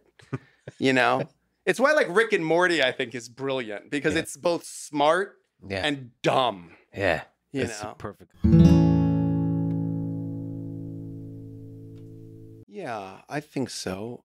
I think what can be learned about interviewing is um, the distillation, like what what what is most important. When I hear a story that I have to present to a judge, the totality of someone's parenting, the, the good of their parenting, the bad of their parenting, the good of the other parent, the bad of the other parent. I have to sort of boil down what are the best examples because I can't lay it all out. And then what what greater principle do they speak to? You know, the best jujitsu teacher that I think I've had is Paul Schreiner. And Paul doesn't teach just teach you techniques. He's teaching you ways of thinking about concepts in jujitsu. And then here are some techniques that illustrate that. John Danaher, from what I can see, does a lot of that as well. I think they're like soulmates in the you know, jujitsu world. Yeah, I mean, straw man, steel man stuff. You do, you do a lot of that. And I think all the best interviewers do. But yeah, I think it's really, really important to think about you you I have to know the other side's case much better than my own. You know, I, I have to know what are their defenses, what are their strengths. I have to to to map out a strategy that keeps those in mind. And that's hard because early in my career, I would attribute to the other side an intelligence and strategy that sometimes wasn't applicable. Like I've I've learned like you know, there's like the simplest explanation is the accurate one, you know, the Occam's razor. I think like Sexton's, you know, would be never attribute to strategy that which could be attributed to stupidity or Mm-hmm. laziness. Yeah. Because I have lots of adversaries that like they'll not file a motion I thought they were going to file and I'll go, "Wait, why didn't they file that? Like tactically, what are they thinking I'm going to do and what what is that about, you know?" And I would go, "Well, if I didn't file it, why wouldn't I?" And the answer is like they just didn't think to file it or like Yeah. oh, they were too lazy to draft it or they went on vacation last week, so Yeah. that's why they didn't. And I'm you know, driving myself crazy, going, there's some tactical read, there must be. So I, I think you have to um, look honestly and don't attribute to the other side your constitution. You know, if I said that, I'd be saying it sarcastically. If you said it, maybe you weren't saying it sarcastically. Like you have to think about the fact that we're we're unique human beings who express themselves differently. And for you, the audience is usually the judge. Do you do Yeah, it's the jury? judge. No, we don't do jury trials. That's the interesting thing about family law attorneys. Family law attorneys don't do jury trials. We do bench trials. We just persuade there's a person in a black robe. That's the only person I have to convince. Does the person in the black robe? Do they have emotions? Are they human? Or are they very? They are human. They are all too human. Do they impose that humanity on you? Like, do you Yeah. feel it? Oh Okay. yeah. Oh yeah. Oh no, they do you feel it? Like they're human. Yeah. They're working their shit out. Okay. They're parents. Yeah. They're oh, husbands boy. and wives. Yeah. You're you're and you're talking about stuff they deal with. Yeah. I had a, I had a woman on the stand, an expert witness on the stand, who was talking about the the emotional and physical abuse that was perpetrated on a seven year old. And I this person had written a bunch of reports that were in evidence in this trial. We're on like day six or seven in the trial. And there's all of this information in the record about this verbal abuse and mental abuse and like gaslighting and like really intense stuff that this woman was doing to this seven year old. And the judge was like vaguely paying attention for most of the time. And at some point, the person says, Well, when a parent is abusing a child, da, da," and the judge just interrupts. She goes, Well, look, you know, do you think like if a person spanks a child, that that's abuse? She's like, Well, I, uh, like a person in general? Like and, and by the way if my adversary asks that question i could object but i can't object when the judge asks a Mhm. question. They get to rule on that objection. Mhm. so i'm like uh, where's this going? She's like well no i mean i mean spanking can be a form of abuse. She's like right but like you know are you saying like everybody who spanks ch-" and i'm sitting here going what is going on in your house? Yeah. or what went on with your parents? Like because you're you're you're bringing some stuff here that's not this is not what you're supposed to be. This is Mhm. not your role you know? But there are good judges and bad judges and and that's a big big deal. You want to learn about this. Represent someone who's accused of child sexual abuse. I've had about a dozen of those cases where i've represented someone who's alleged to have perpetrated sexual abuse of a child. You are guilty until proven innocent And let me tell you, as a lawyer, that is the toughest cases because you put sex and kids together and everyone loses their goddamn mind immediately. There's a rush to judgment, there is a disregard for procedure. There's a confirmation bias. There's a desire to be a protector. And again, all motivated and informed by really good things the desire to protect the innocent, the desire to protect the vulnerable. But, but gang, no, like we have these. I like living in a world that has due process. I like these rules. I like the rules of evidence. I like innocent until proven guilty. I like that. I'm not saying it's perfect. That's those two things aren't mutually exclusive. I- They I- shouldn't be. I, I know, but if you dedicate yourself fully to the law, you might lose some of the humanity. I don't think you have to. I have to tell you, I once actually went off on a on a DA, on a district attorney, who was very vehemently prosecuting a child sex abuse case that I was involved in. And I remember I, I it was I came in thankfully I came in very early in the case. So the accusation was made and I came in right away. Because very often you get this case, there have been 15 interviews. This person's been interviewed by police, by child protective services, and it's like they've already, they're already so far down a hole they didn't even know they dug themselves into, you know? So I got in very early on and I just kept saying, she's like, well, we're this, we're gonna do this, we're gonna do that. I was like, wait, wait, wait, wait, wait, wait. Don't, we should both want this to be fair, done properly. Like we, there's an expert like a, a well-respected expert who's a clinical psychologist who their job is they're a validation expert. So their job is to interview a child. They record the interviews with a hidden camera so that everyone can see they didn't ask suggestive questioning. There are very stringent standards that they follow to prevent like suggestive questioning or any of those kinds of things. And I was saying, listen, no, no one should be interviewing this child other than this person who's a neutral, qualified person. And I kept saying to the other side, like, wait, no, no, you're, see, this is the problem. Like, you want to win. You're a lawyer. You want to win. I want to win too, right? But, but, but we want to win fair. Like, that's like saying, you know, I'm going into a boxing match. I want to win. So if the referee's looking to the side, I'm going to kick the guy in the nuts. Like, okay, then, then you might have won, but you didn't win boxing. Mhm. You won some other thing. You know, like I want to win a fair fight. Like I want to go in with the rules set, the law, the rules of evidence. I don't want a judge who doesn't understand evidence. I don't mm-hmm. want an adversary who plays it fast and loose with the rules. I want to go in and win a fair fight. And and that's where when it comes our our our passion to protect the innocent, to emotionally connect, to feel deeply about children and protecting them, I don't think that that's antagonistic to like we we always treat dandruff with decapitation in this culture, and I don't understand it. And that's what I like about the law. The law, there's rules, there's an, and there's rules about procedure. And so that's that's our job is to bring out the truth using the rules and the procedure. And I, I, I love that job. But still, there's a human being in the judge, right? That's the problem. It seems like a really hard job It's a because you have to be pay attention to the whole thing. You have to pay attention to the whole thing, and everyone is trying to persuade you and lie to you. Yeah. and and and and everyone can keep their shit together in a court appearance most of the time. Yeah. Like it takes a rare kind of crazy to blow up in a courtroom. So most of the time, everybody looks really put together and like, yeah, you got to have an amazing bullshit detector. I'm not saying they don't have a really hard job. They have a really hard job. They have a way harder job than I have. What's their um, source of ground truth? Like, how do they sharpen the radar for bullshit?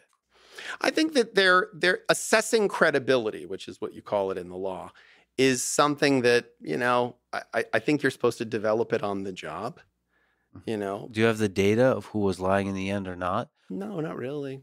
Not really. I mean, you can try to demonstrate a lot. What I always tell clients, and this is this is the art of advocacy, right? Is is I want to use examples of misrepresentations to show that this person's a liar. Like I'm trying to extrapolate from the small the large. Like I'm trying to say, here's three times he lied, therefore he's a liar when in fact, you know, we know human beings don't really work that way. But I've seen people submarine their just torpedo their entire case Mhm. because they lied about some dumb shit, some dumb little thing. And and and I I I, say to them, why would you lie? Why did you lie about that? Like I had a case where a person was accused of child sexual abuse. And on cross-examination, they were asked, Did you have an affair with this babysitter? And they were like, No, no, no, no, no. And, and then it was shown through text messages and things. They clearly had an affair with the babysitter. And I said, Why did you lie? And they said, Well, I didn't want that to come out. And I said, Right, but now you're a liar. Like, did you molest your child? Because if the answer to that is no, and now you destroyed your credibility because you didn't want to admit that you slept with an adult woman. By the way, it would have been good for your case. It would have been good for your case for you to say, Yeah, I slept with her because I like sleeping with adult women. That's how I am. I don't sleep with children, much less my own you know so so why would you lie and so that that that concept is incredibly important and judges theoretically they have to make very tough calls. I feel like it's the most impotent place to just sit there and dispassionately sort of listen and rule on objections. Like i i just would be so frustrated because i'd want to get up and you know i had to do jury duty once and it was it was like a horrific experience for me because i'm sitting there and have i'm no power. You're yeah, I'm just watching these two lawyers. I'm like, why did you ask that question that way? I would never have asked it that way. Why would you object like? You, when you object, you bring more attention to what are you doing? Like I'm watching both of them. It's like watching like a jujitsu. It would- Probably would it feel like for like John Danaher to watch two white belts spar? Like, why are you doing? Wow, my God, what are you doing? Why would you grab that? What are you? What are you thinking? Like, and you know, it, it, it's frustrating. It's frustrating to watch. And and as a judge, it must just be unbelievable. So divorce lawyers sometimes get a bad rap. Uh, is there a reason for this? I mean, no one's ever happy to be spending time with a divorce lawyer. Like, if you have a criminal lawyer, they're defending you against the maelstrom of injustice and false allegations. They're protecting your freedom. And maybe you- you're acquitted, and then you're like, oh, that person saved me. You know, you buy a house, you know, that lawyer helps you get the house. You know, you're happy about that, sign the paperwork. You do a will, like, you help, they make you feel secure. Like, at best, I'm a representative of a chapter in someone's life that was very unpleasant. I have a friend who's a Juilliard trained classical pianist, and um, he was having a humidification system installed in his home because his piano required a certain level of humidity. And it was very expensive to install this humidification system. And we went out to dinner and then we came back to his place, and he said, Man, this is the most depressing $15,000 I've ever spent. And I said, Why? And he said, Because there's nothing different. Like I spent $15,000 and I feel absolutely nothing different. My piano does, but I don't. Like I don't have anything to show for it. Like you finish getting divorced, Mhm. You don't really have anything to show for it, Yeah. you know? At like best. At, Yeah. at best, it's the same. it's one of the things I think that's interesting about divorce is in our increasingly performative society, you can't pretend you meant to get divorced. You can't. Like everything everybody does, like, well, I wrote that album for me. I- It didn't matter that it was not going to be popular. No, you wanted that album to be popular. Like, come on. Like, you're lying. And that's fine, but you're lying. Oh, I, I think my haircut came out great. I wanted it to look this fucked up. No, you didn't. You didn't. You're lying. And that's fine because we live in a society now where everybody's just, oh, yes, I meant to do that. Okay. Divorce? Nope. You you got married. You would you wouldn't you break up in a relationship, not a marriage. Okay. Well, we were only going to be together for a little while. It was never serious. We were just like, you know, we were having fun. That's all it was. It wasn't. We were we were never going to be a happily ever after. No, you got married. You got married, guys. You got up there and you said forever. Mhm. And it didn't go forever. So you can't bullshit anybody anymore. Like you, no, it didn't go the way you thought it was going to go. It didn't go the way you signed on for. So now that that's undeniable, like, what can we make it? What can we make it into? Like, it can be beautiful. You know, the barn's burned down. Now I can see the moon. You know, like, let's make it something. And so for me, I think people look at a divorce lawyer and they just go, yeah, like, this is this horrible chapter and I associate you with it. Also, too, listen, some of the things we do, it's difficult to simultaneously prevent and prepare for war. Yeah. The things you do to protect your client sometimes look like acts of aggression, but really they're just trying to shore up a defense. And so I get paid to be paranoid. And I have to say to clients sometimes, like, well, are you sure that they're not doing this? And then they go, well, I don't know. And I go, well, let me inquire. They, Did she accuse me of that? No, no, I'm not accusing you. I'm just trying. To... Like, we get a reputation, divorce lawyers, as amping up conflict because we get paid for the conflict, Mhm. right? It's like if you get paid by the bullet, you're going to start a lot of gunfights, right? It doesn't really work that way with most good divorce lawyers. Like there are plenty of people that are bad lawyers and they stoke up conflict because it jacks up fees. They usually don't do well. They don't build a successful career because you live and die by your reputation. Yes, reputation is everything. But but good lawyers, like good experienced divorce lawyers, we do the whole, you know, hey, listen, you're gonna say this, I'm gonna say this, you're gonna do this, I'm gonna do this. This is what let's skip it. We're gonna end up here. You know, we got Judge blah blah blah, and you know what he's gonna do. He's gonna go right here. So why don't we just agree right now to X, Y, Z? Sounds good. We're done. We're good. So you want to minimize the number of bullets. It's like the two. It's like uh, Miyamoto Musashi. You know, it's like the the two swordsmen who see each other, and they just stand there at the edge, and they see the whole fight in their minds, and they know who won and who lost, and they walk away. Like it's it, we do a lot of that. We do a lot of okay. You know, it's it's like when you watch high level chess yeah. and someone resigns, and you go, wait, what happened? He didn't win, and you go, no, no, he the other guy won. Yeah. It's 15 moves from now, but he won, and the other guy sees it. So now we're done.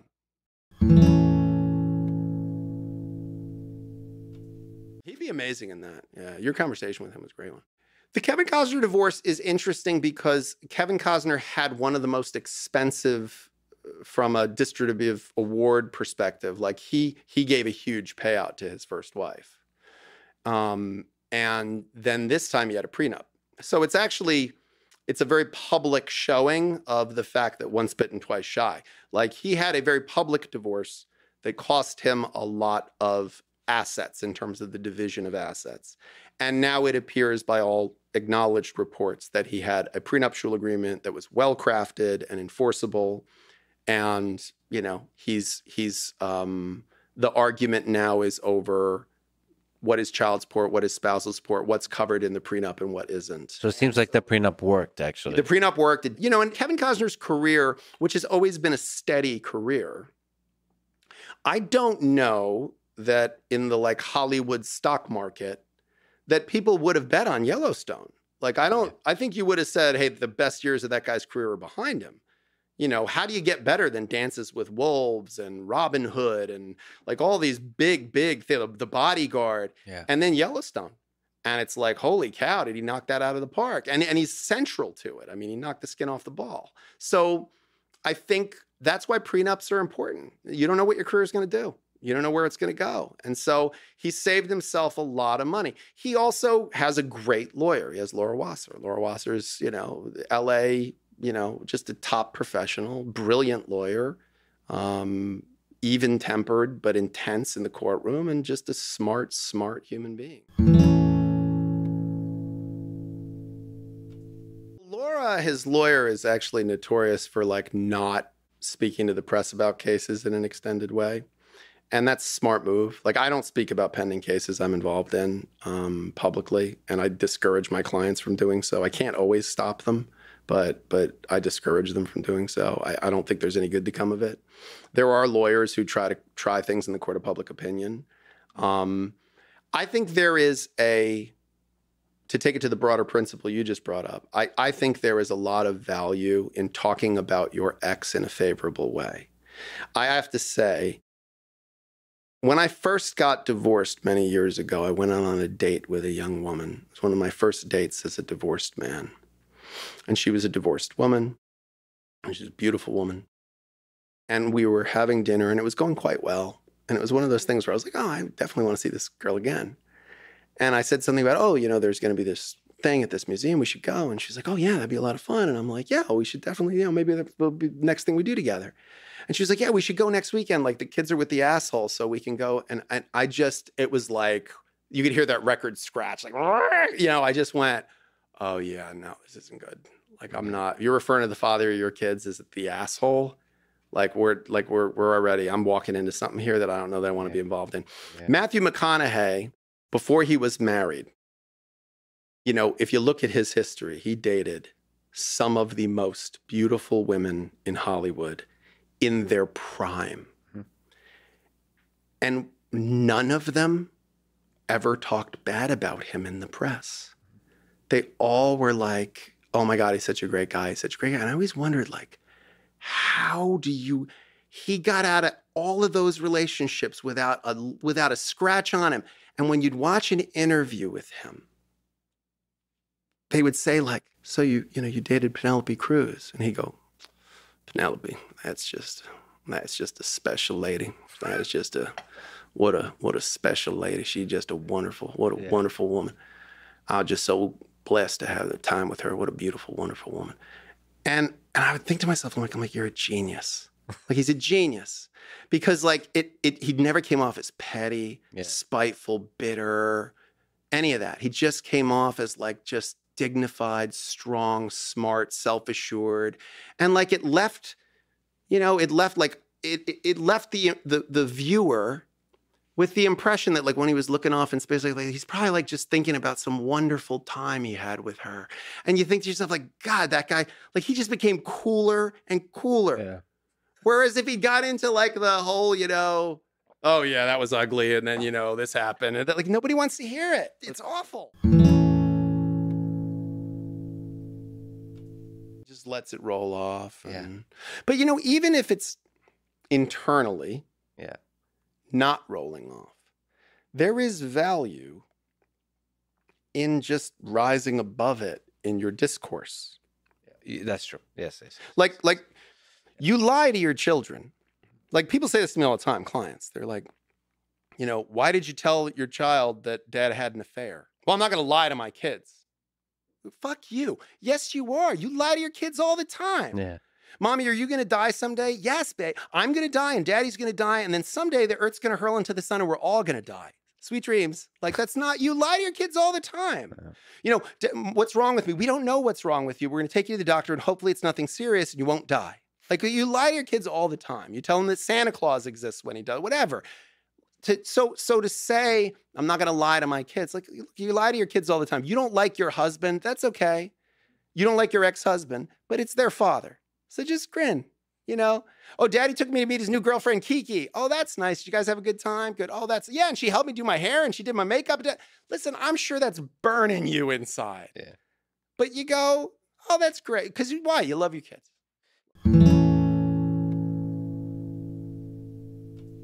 I would put Tom Waits, um, Cormac McCarthy, Maynard James Keenan. Like these, these are artists that like I think they want the art to speak for itself.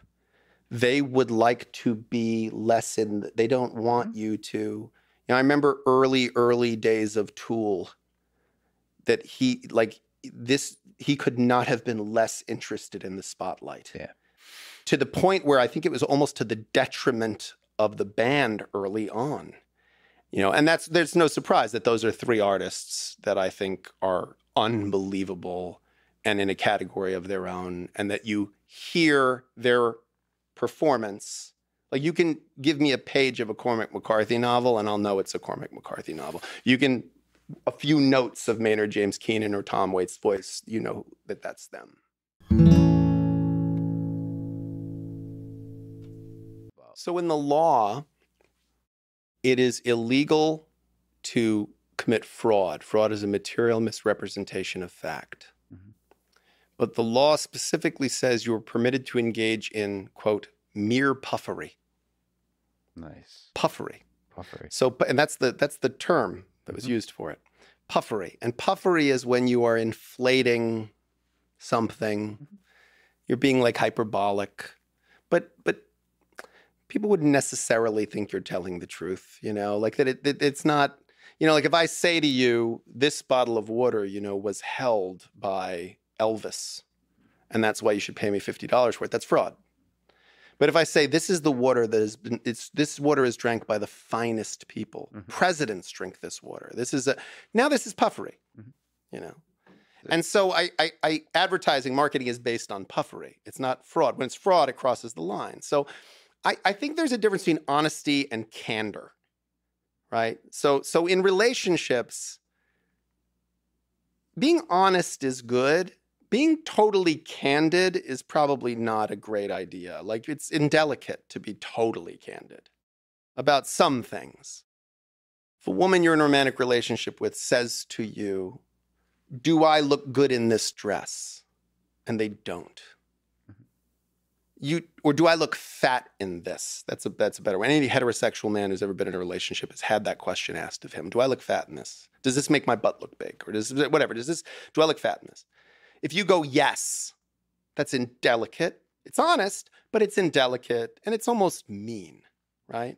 But there's a and if you say no, but it's true, she doesn't look good in that. Like the concern she sees is a legitimate concern. Mhm. Do you lie and go, no, no, you look great that. It's great. Da-da-da-da-da." That's not a good thing either. Mhm. So what do you say? You know, that blue dress you have really complements your body, like in a way that one doesn't. You know, that the cut of that dress is such that it doesn't flatter you. I, I Yeah. see what you're saying. Now, Yeah. now it's the dress. It's not you, babe. You know, but I'm telling you the truth. Like I'm addressing your concern. Like this is what this is the distinction. Like don't don't material misrepresent the facts. Like don't steer people down roads that they're you know you know that that's not how it's going to go, right?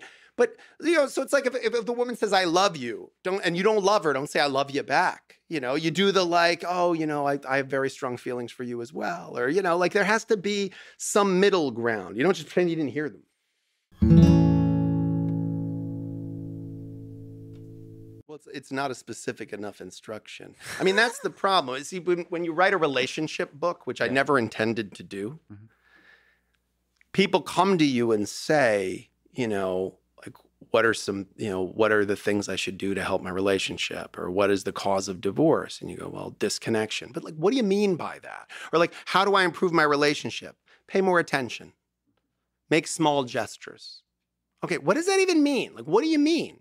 Like acts of love. You should show your partner that you love them more often. What do you mean? Like th- what I say, what I do? We should have more sex. Like what? What are you at? What are you saying? Mhm. Like people want measurable, specific things. So that's why I tried in my book to be like very specific about like things you can do, things you shouldn't do. You know, and and they're practical suggestions. Like like like leaving a note. I talk a lot about leaving a note.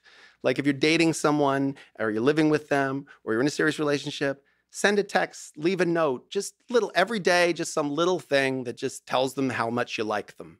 Like this is a low cost, high value move, doesn't take much, and it's a practical thing. But but but we speak in these sort of like broader axioms, these broader concepts that people just don't have any idea how to practically apply.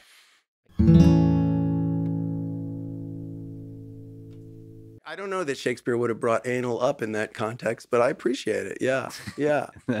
my thesis there or my point there was you know proceed carefully and have discussion in advance yes. and don't just spring it on someone sure. and realize that this if this goes wrong it will go catastrophically wrong um, so good communication is important and you know yeah i i, I don't think it's something you should just uh, dive into unless you're prepared for that to have potentially a very negative impact. And you know, finances is one of the sources of a huge amount of stress in relationships, which is tremendous. Because it's a, it's about value i think. I mean it's aside from having painful conversations about what you tried to do and were able to do or what your impulse control was in terms of what you spent money on like there's you know there's the conversation and then there's what's underneath the conversation. You know there's gender stuff about men feeling the need to be a provider. There's gender stuff of of of men or women thinking material goods will fill the void and buying things and then creating stress on their partner. There's the very human desire to make things seem effortless so your spouse doesn't feel any stress when in fact it's causing tremendous financial stress and then when the dam breaks it breaks hard. So yeah, there's a lot. Finance is, is tricky stuff and and you could probably be wonderful romantic and sexual partners and have very different styles of of how you handle your finances. And how you handle your finances is informed by, you know, not only your individual psychology, but also how you were raised and, you know, how your family taught you about finance and how you should conduct your finances. So, And there's interesting power dynamics in play. tremendously, yeah. And those are there those are very tricky because the standard of living of a couple becomes important in a divorce. But sometimes this toxic standard of living that created toxic levels of stress is one of the causes of the divorce. Yeah. And so you're asked they're asking the court to maintain a financial obligation on you that is the reason why the marriage fell apart. Mhm. And that feels like a particularly insulting form of of uh, indignity. And I was up at I get up at four every day. You woke so up now before I'm here. today. Well, I woke. It's three o'clock local time, so I woke up at three local time. Nice. Yeah, I wake up at four naturally. Though my body just wakes up Oh And it wow, wakes that's up- fascinating. full on this speed.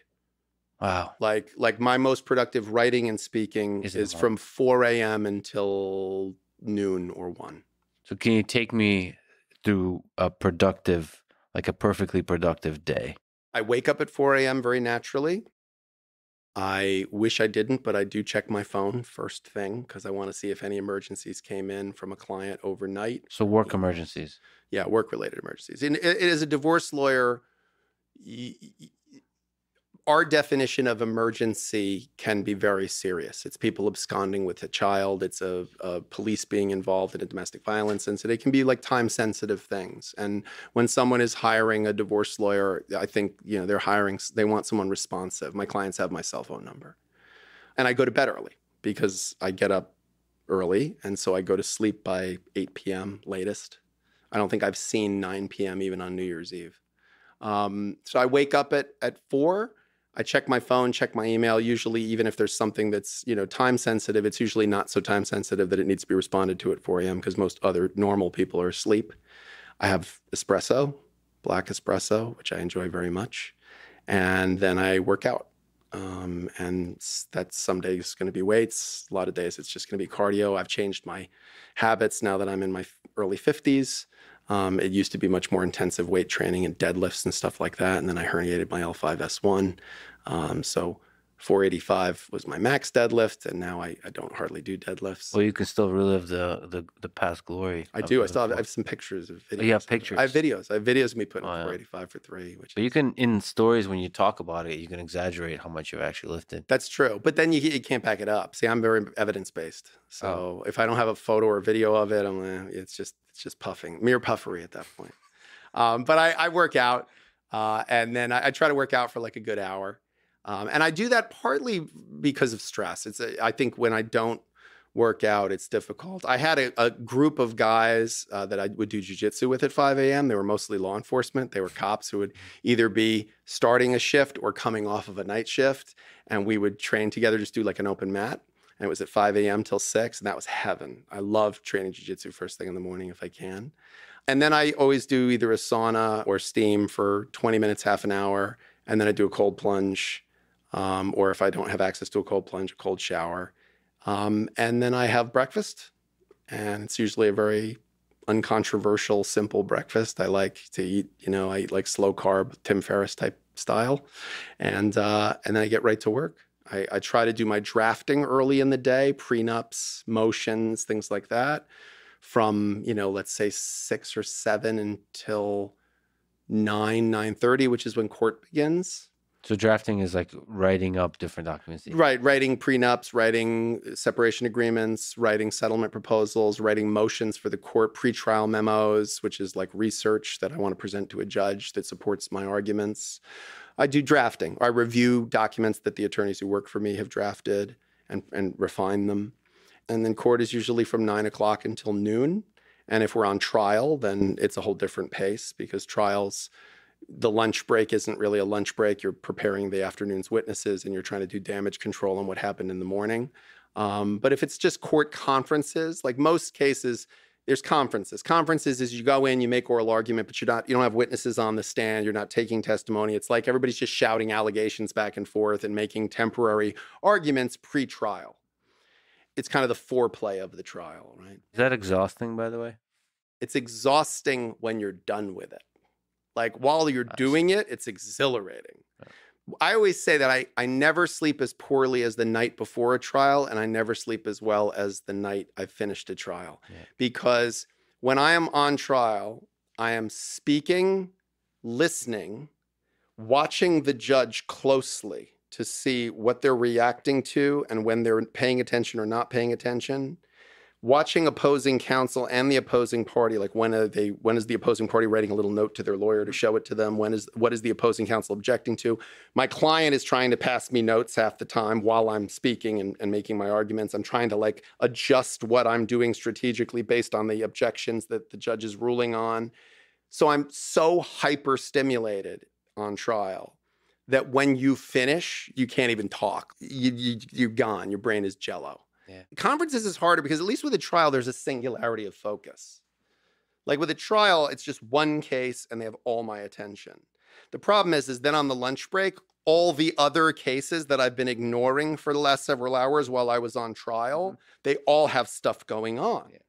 so it's like hey where's that settlement proposal on this? Hey this she just did this. We need to file a motion. So now it's like okay i, I have an hour to Yeah. eat and to answer all of this in some preliminary way to delegate some responsibilities and then i got to go back in and put 100% of my Mhm. focus on this other case again so you find yourself in a place that's why i'm very disciplined is you find yourself in a place where i live my whole life in six minute increments tenths of an hour because we bill in tenths of an hour so everything i do it's like 0.2 0.4 0.6 and i'm logging time throughout the day and you find yourself at the end of the day.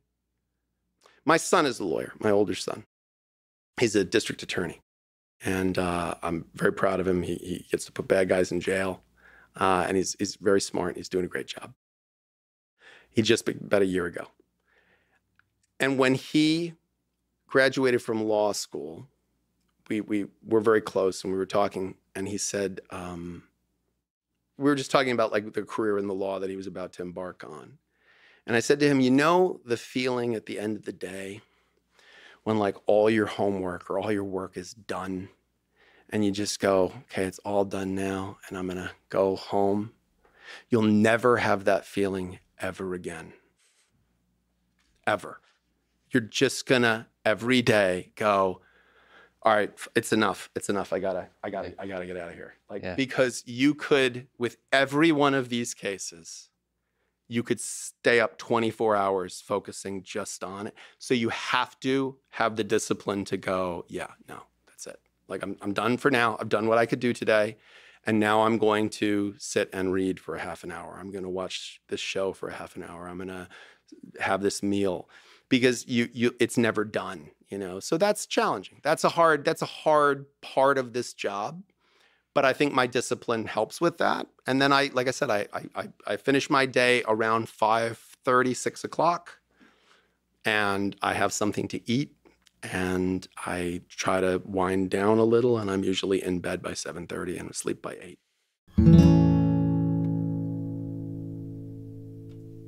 I ah, I love jujitsu. I, I trained martial arts from the time I was a little kid. I think I was seven or eight. I took up Okinawan Goju karate, and I did judo, and it was always part of my life. And then I got to college and grad school, and I didn't have time for it, and I didn't do it so much. And then I got divorced. I was quite young still when I got divorced, and I had two young kids. And I um I thought, well, I can like you know grow a goatee and buy a convertible and do like the thing you're supposed to do when you're dude with kids and middle close to middle age. Um, or I can I can try to do something more productive. And so I said, well, maybe I'll I'll go back to martial arts. So I took up Muay Thai, kickboxing, and they had a jujitsu class at the same school after the Muay Thai class. And I had been around the orbit of jujitsu, having been my kids took karate and there was jujitsu there. It was at Gracie Academy. And uh, I stayed for a jujitsu class and I had a 120 pound girl ragdoll me mm-hmm. like because I just knew nothing about grappling. And I remember just going, well, I got to learn what this is. Yeah. And that was it. I just dove into it. My first professor was Lou Vintolaro in New Jersey. He's a Royler Gracie black belt, great teacher, taught me amazing fundamentals, took me all the way up to purple belt. And then right after I got my purple belt, I moved to the city. I moved to Manhattan. I actually chose my apartment based on its proximity to Marcelo Garcia. And I moved to West Chelsea because it was a short walk to, to Marcelo's academy. My core jujitsu was up to purple belt. It was Lou Vintolaro, and then uh, it's been Marcelo. Um, and, and Marcelo, Paul Schreiner, who's really Mm. you know phenomenal at his academy, and all of the, all the people at his academy. I mean, are, are all phenomenal. I mean, Bernardo Faria was was there for a period of time that I was there, and, and before he went to Boston, um, Marcos Tinoco was like his lasso guard stuff. He was at Marcelo's for a long time, and what a teacher! I mean, my my lack of skill at jujitsu is not based on a lack of quality instruction. Like it's based on an inability to retain the information, you know, for very long. I mean, like for me, that's one of the most reliable place I can go to humble myself. I love I love jujitsu. I love the progressive humility that it drives home constantly. I love the impossibility of perfecting it, although Gordon Ryan's probably come close and Marcelo's probably come close to perfecting it. Yeah, I'm actually glad I have that. It, it's funny that you bring it up. And of all the, you know, we're talking about all these heavy topics, and this is probably the one that I find most, the most actually emotional. But, you know, Gordon's a very, I think, a very young man still. He's like probably in his 20s or early 30s. And it's hard to imagine that because he's accomplished so much as an athlete um, and as a business person. Um, but there was a time, you know, not that long ago, I think it was uh, eight or nine years ago, where he was just a young guy on his way up. Um, he's only, I think, a couple years older than my oldest son. And I, through a series of circumstances, jujitsu wasn't, you know, it's really exploded in the last 10 years, but there were not as many people sponsoring quote unquote super fights. There really weren't like jujitsu super fights being sponsored, Jersey and New York in particular. And I got involved in sponsoring some jujitsu super fights. And um, I also got involved in sponsoring some jujitsu athletes. And Gordon was a young uh, part of the Danaher Death Squad. I was friends with Eddie Cummings. I'm, I'm still friends with Eddie. Um, I, I was friends with John. I'm still friends with John. Um, but I didn't really know Gordon. I actually don't know that I've still ever met. I don't think I've ever met Gordon. Um, I've been in the same room as him. But there was a fight that I had sponsored some other fights with this particular um, promoter, and they asked me to sponsor one, and it didn't involve anyone from Marcelo's, um, but it involved Gordon. He was one of the people, and I liked John very much, and I liked everybody in the Danaher Death Squad. I like watching them compete, and I thought, you know, I think John's just brilliant. I mean, everyone at Marcelo's has such respect for John and for everyone. And and the, the stuff they were doing, like when they were the early days of that Danaher Death Squad, like the Eddie Cummings, like his leg locks, like it just blew the whole game up. Like it just was a whole nother thing, you know. It was like insane what they did, such innovation. And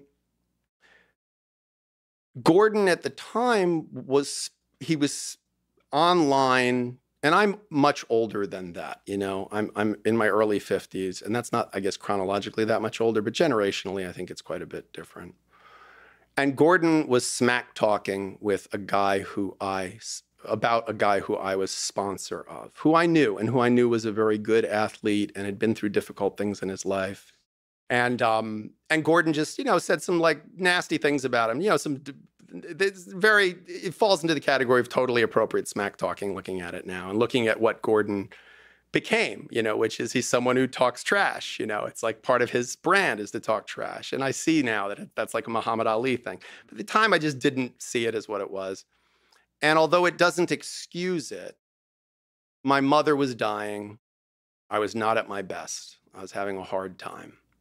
And Gordon had spoken ill of this person and I I got upset and I reached out to John and to Tom DeBlass and I said to them, "Hey, like could you tell this guy to knock it off? Like don't talk about this person who I sponsor if I'm sponsoring his fight. I don't even know this Gordon Ryan kid and I'm sponsoring his fight." And Like he should say thank you. Don't talk bad about a person who I financially sponsor. Like that's not cool. And I think on Facebook, he like wrote some comments and then I wrote some comments back and I was incredibly obnoxious. And um, very soon after, I felt really gross because I was an adult and I was talking to a young person this way who's on their way up, who's the, like a little older than one of my kids. And I just said these obnoxious things to him. And I, I, I felt really like, that's gross, you know? And, but I never really thought much about it again. You know, I watched his star rise and, and I was very, I mean, who was not impressed by Gordon Ryan? Like, and everyone at our academy was always very, you know, like thrilled to see him rise. And, you know, I've stayed friends with John, and every time Gordon would have a big victory, I would always text John and be like, because, you know, Gordon's victories are John's victories too. You know, they have such a great bond. All the people in his orbit, like, are all people that I respect and like. And I just would say, hey, listen, congratulations, and please pass on my congratulations to Gordon. And, uh, but I, we don't know each other. I don't have his number. I have no way to contact him to apologize to him. But, you know, if, Gordon, if Gordon hears this, um, I am profoundly sorry. I, and not I don't say that because I'm trying to get in your good graces. I don't know that we'll ever meet each other. Um, but but that was an unbelievably wrong, stupid thing to say to a young person.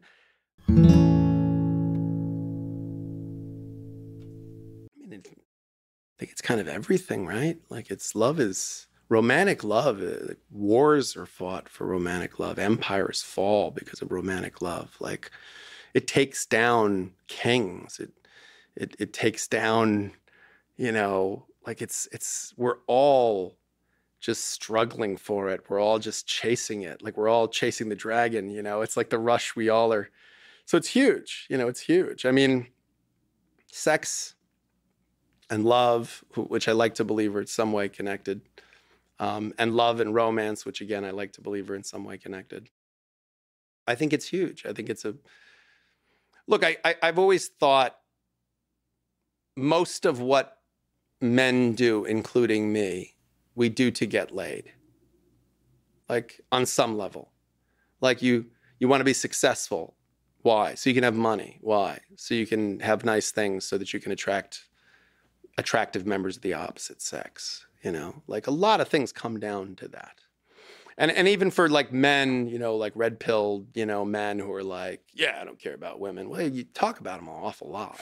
Like for someone that's not interested in women, you sure are like in the orbit of women who you're telling how much you don't care about women, yeah. which kind of feels like you're doing that to attract a certain kind of woman, which I get.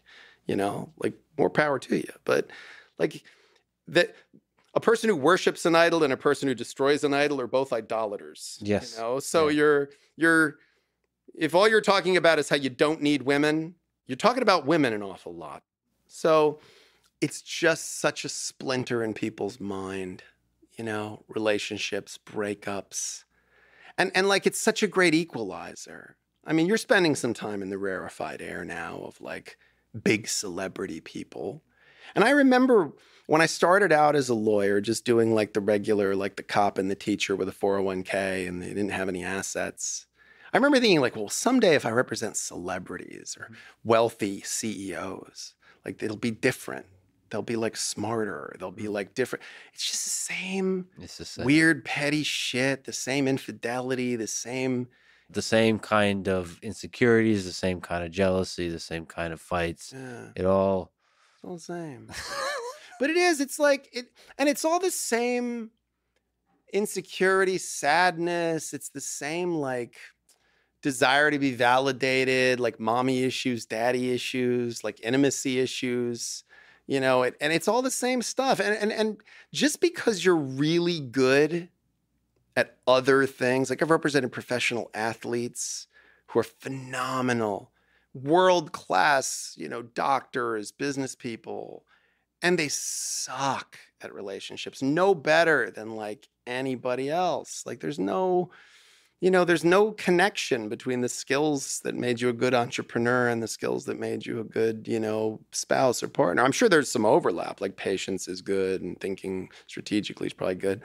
But I, I I'm I'm just humbled by how we're called to it still. Like Yeah. it's so and and even when we lose and even when like our greatest pains were caused by our desire to love and be loved in a romantic sense, we just keep putting the money on the table and playing. Like we won't just quit. We just keep going, you know? And The whole mess of it is worth it. I I mean I guess I guess so. Like there it's calling us. Mhm. I don't know if it's worth it or not. That's a value judgment, right? But I I it we don't stop. I don't know a lot of people that that they played the hand, they lost, and they went, well, no more of that game for me. Like, I'm not a good poker player. I'm not playing poker anymore. Like, I know people who've done that. I know people that are like, listen, I don't drink. Like, you know, I'm allergic. I break out in handcuffs and hospital bills. Like, I'm not drinking anymore.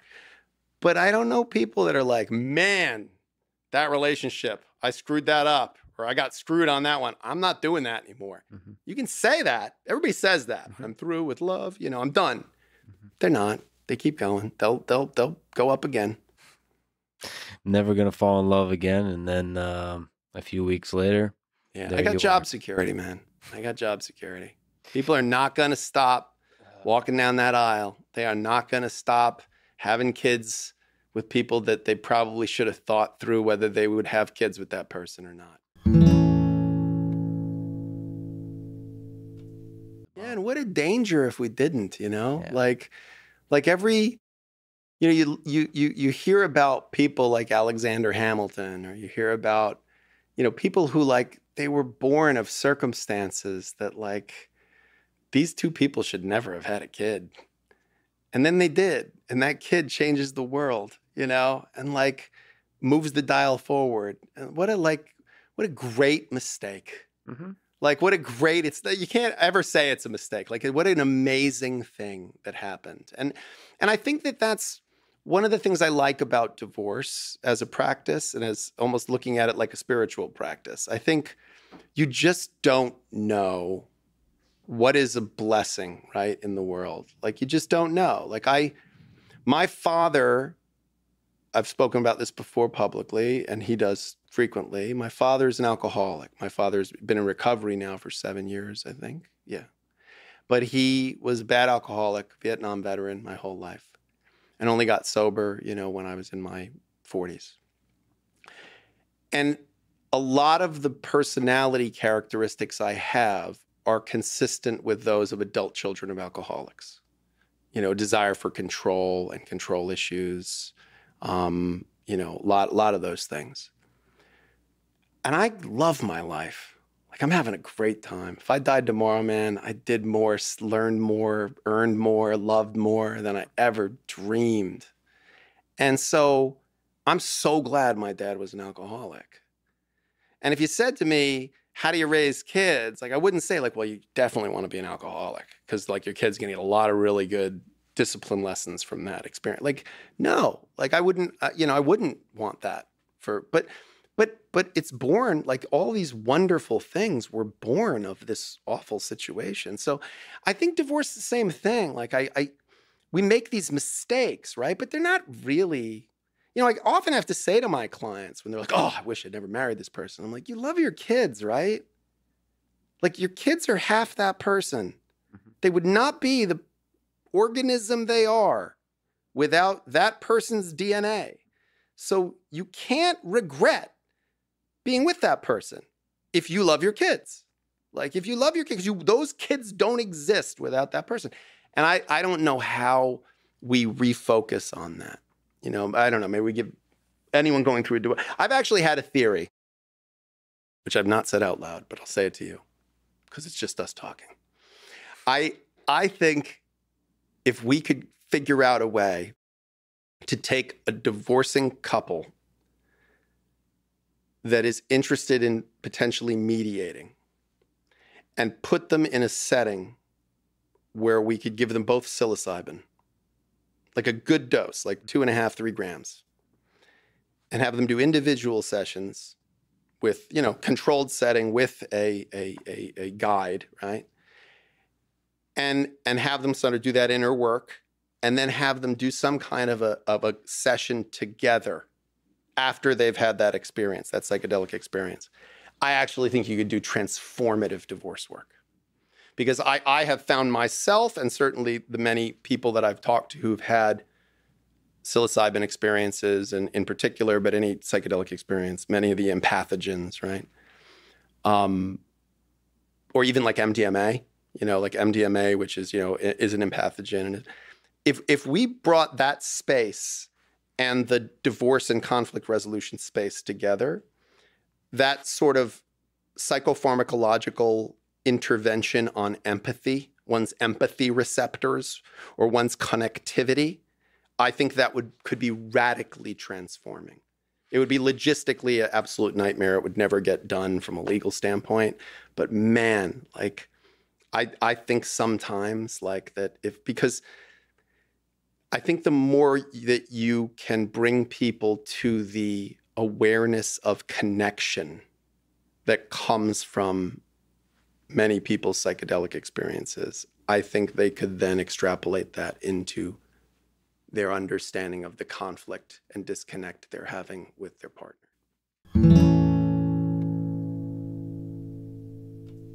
That was what appealed to me about it. I mean, before I started doing it, is it was this idea that this is a opportunity to for radical reinvention. Yeah. Like it was an opportunity for people to say, okay, now what? Like I didn't expect that. Now what? And it was to be part of the architecture of that. Like I didn't look at it like I'm helping demolish the building. It was like I'm tearing down the building so we can build the new one, which I hope is filled with joy and abundance and peace and love and real love, real satisfaction. Like my my ex-wife is married for over a decade now to a phenomenal guy who is perfect for her. And he's nothing like me, by the way. Like, like if you met him and you met both of us, you'd go, well, no one could love both of these guys. Because like if you like this flavor, you wouldn't like this flavor. Yeah. Like I am impatient, fast talking, like skip to the end, we gotta land this plane, come on. And he's like, he's therapist, he's chill, he's like patient, and they're perfect together. And I can say that as someone who loves her and loved her, you know, and knows her or knew her. Like, and and I I think if we can you know, if we can radically view honestly, like without jealousy, without, you know, without the sense of like, look at it and just go, yeah, yeah, okay. Like this, like this is the love this person needed. Like that doesn't mean my love sucks. It just means it wasn't the right one for this person, you know? Like there's someone and there's a lid for every pot, you know? Like she found her lid. I want her to find her lid. That's good, you know? This is the Lex Free Podcast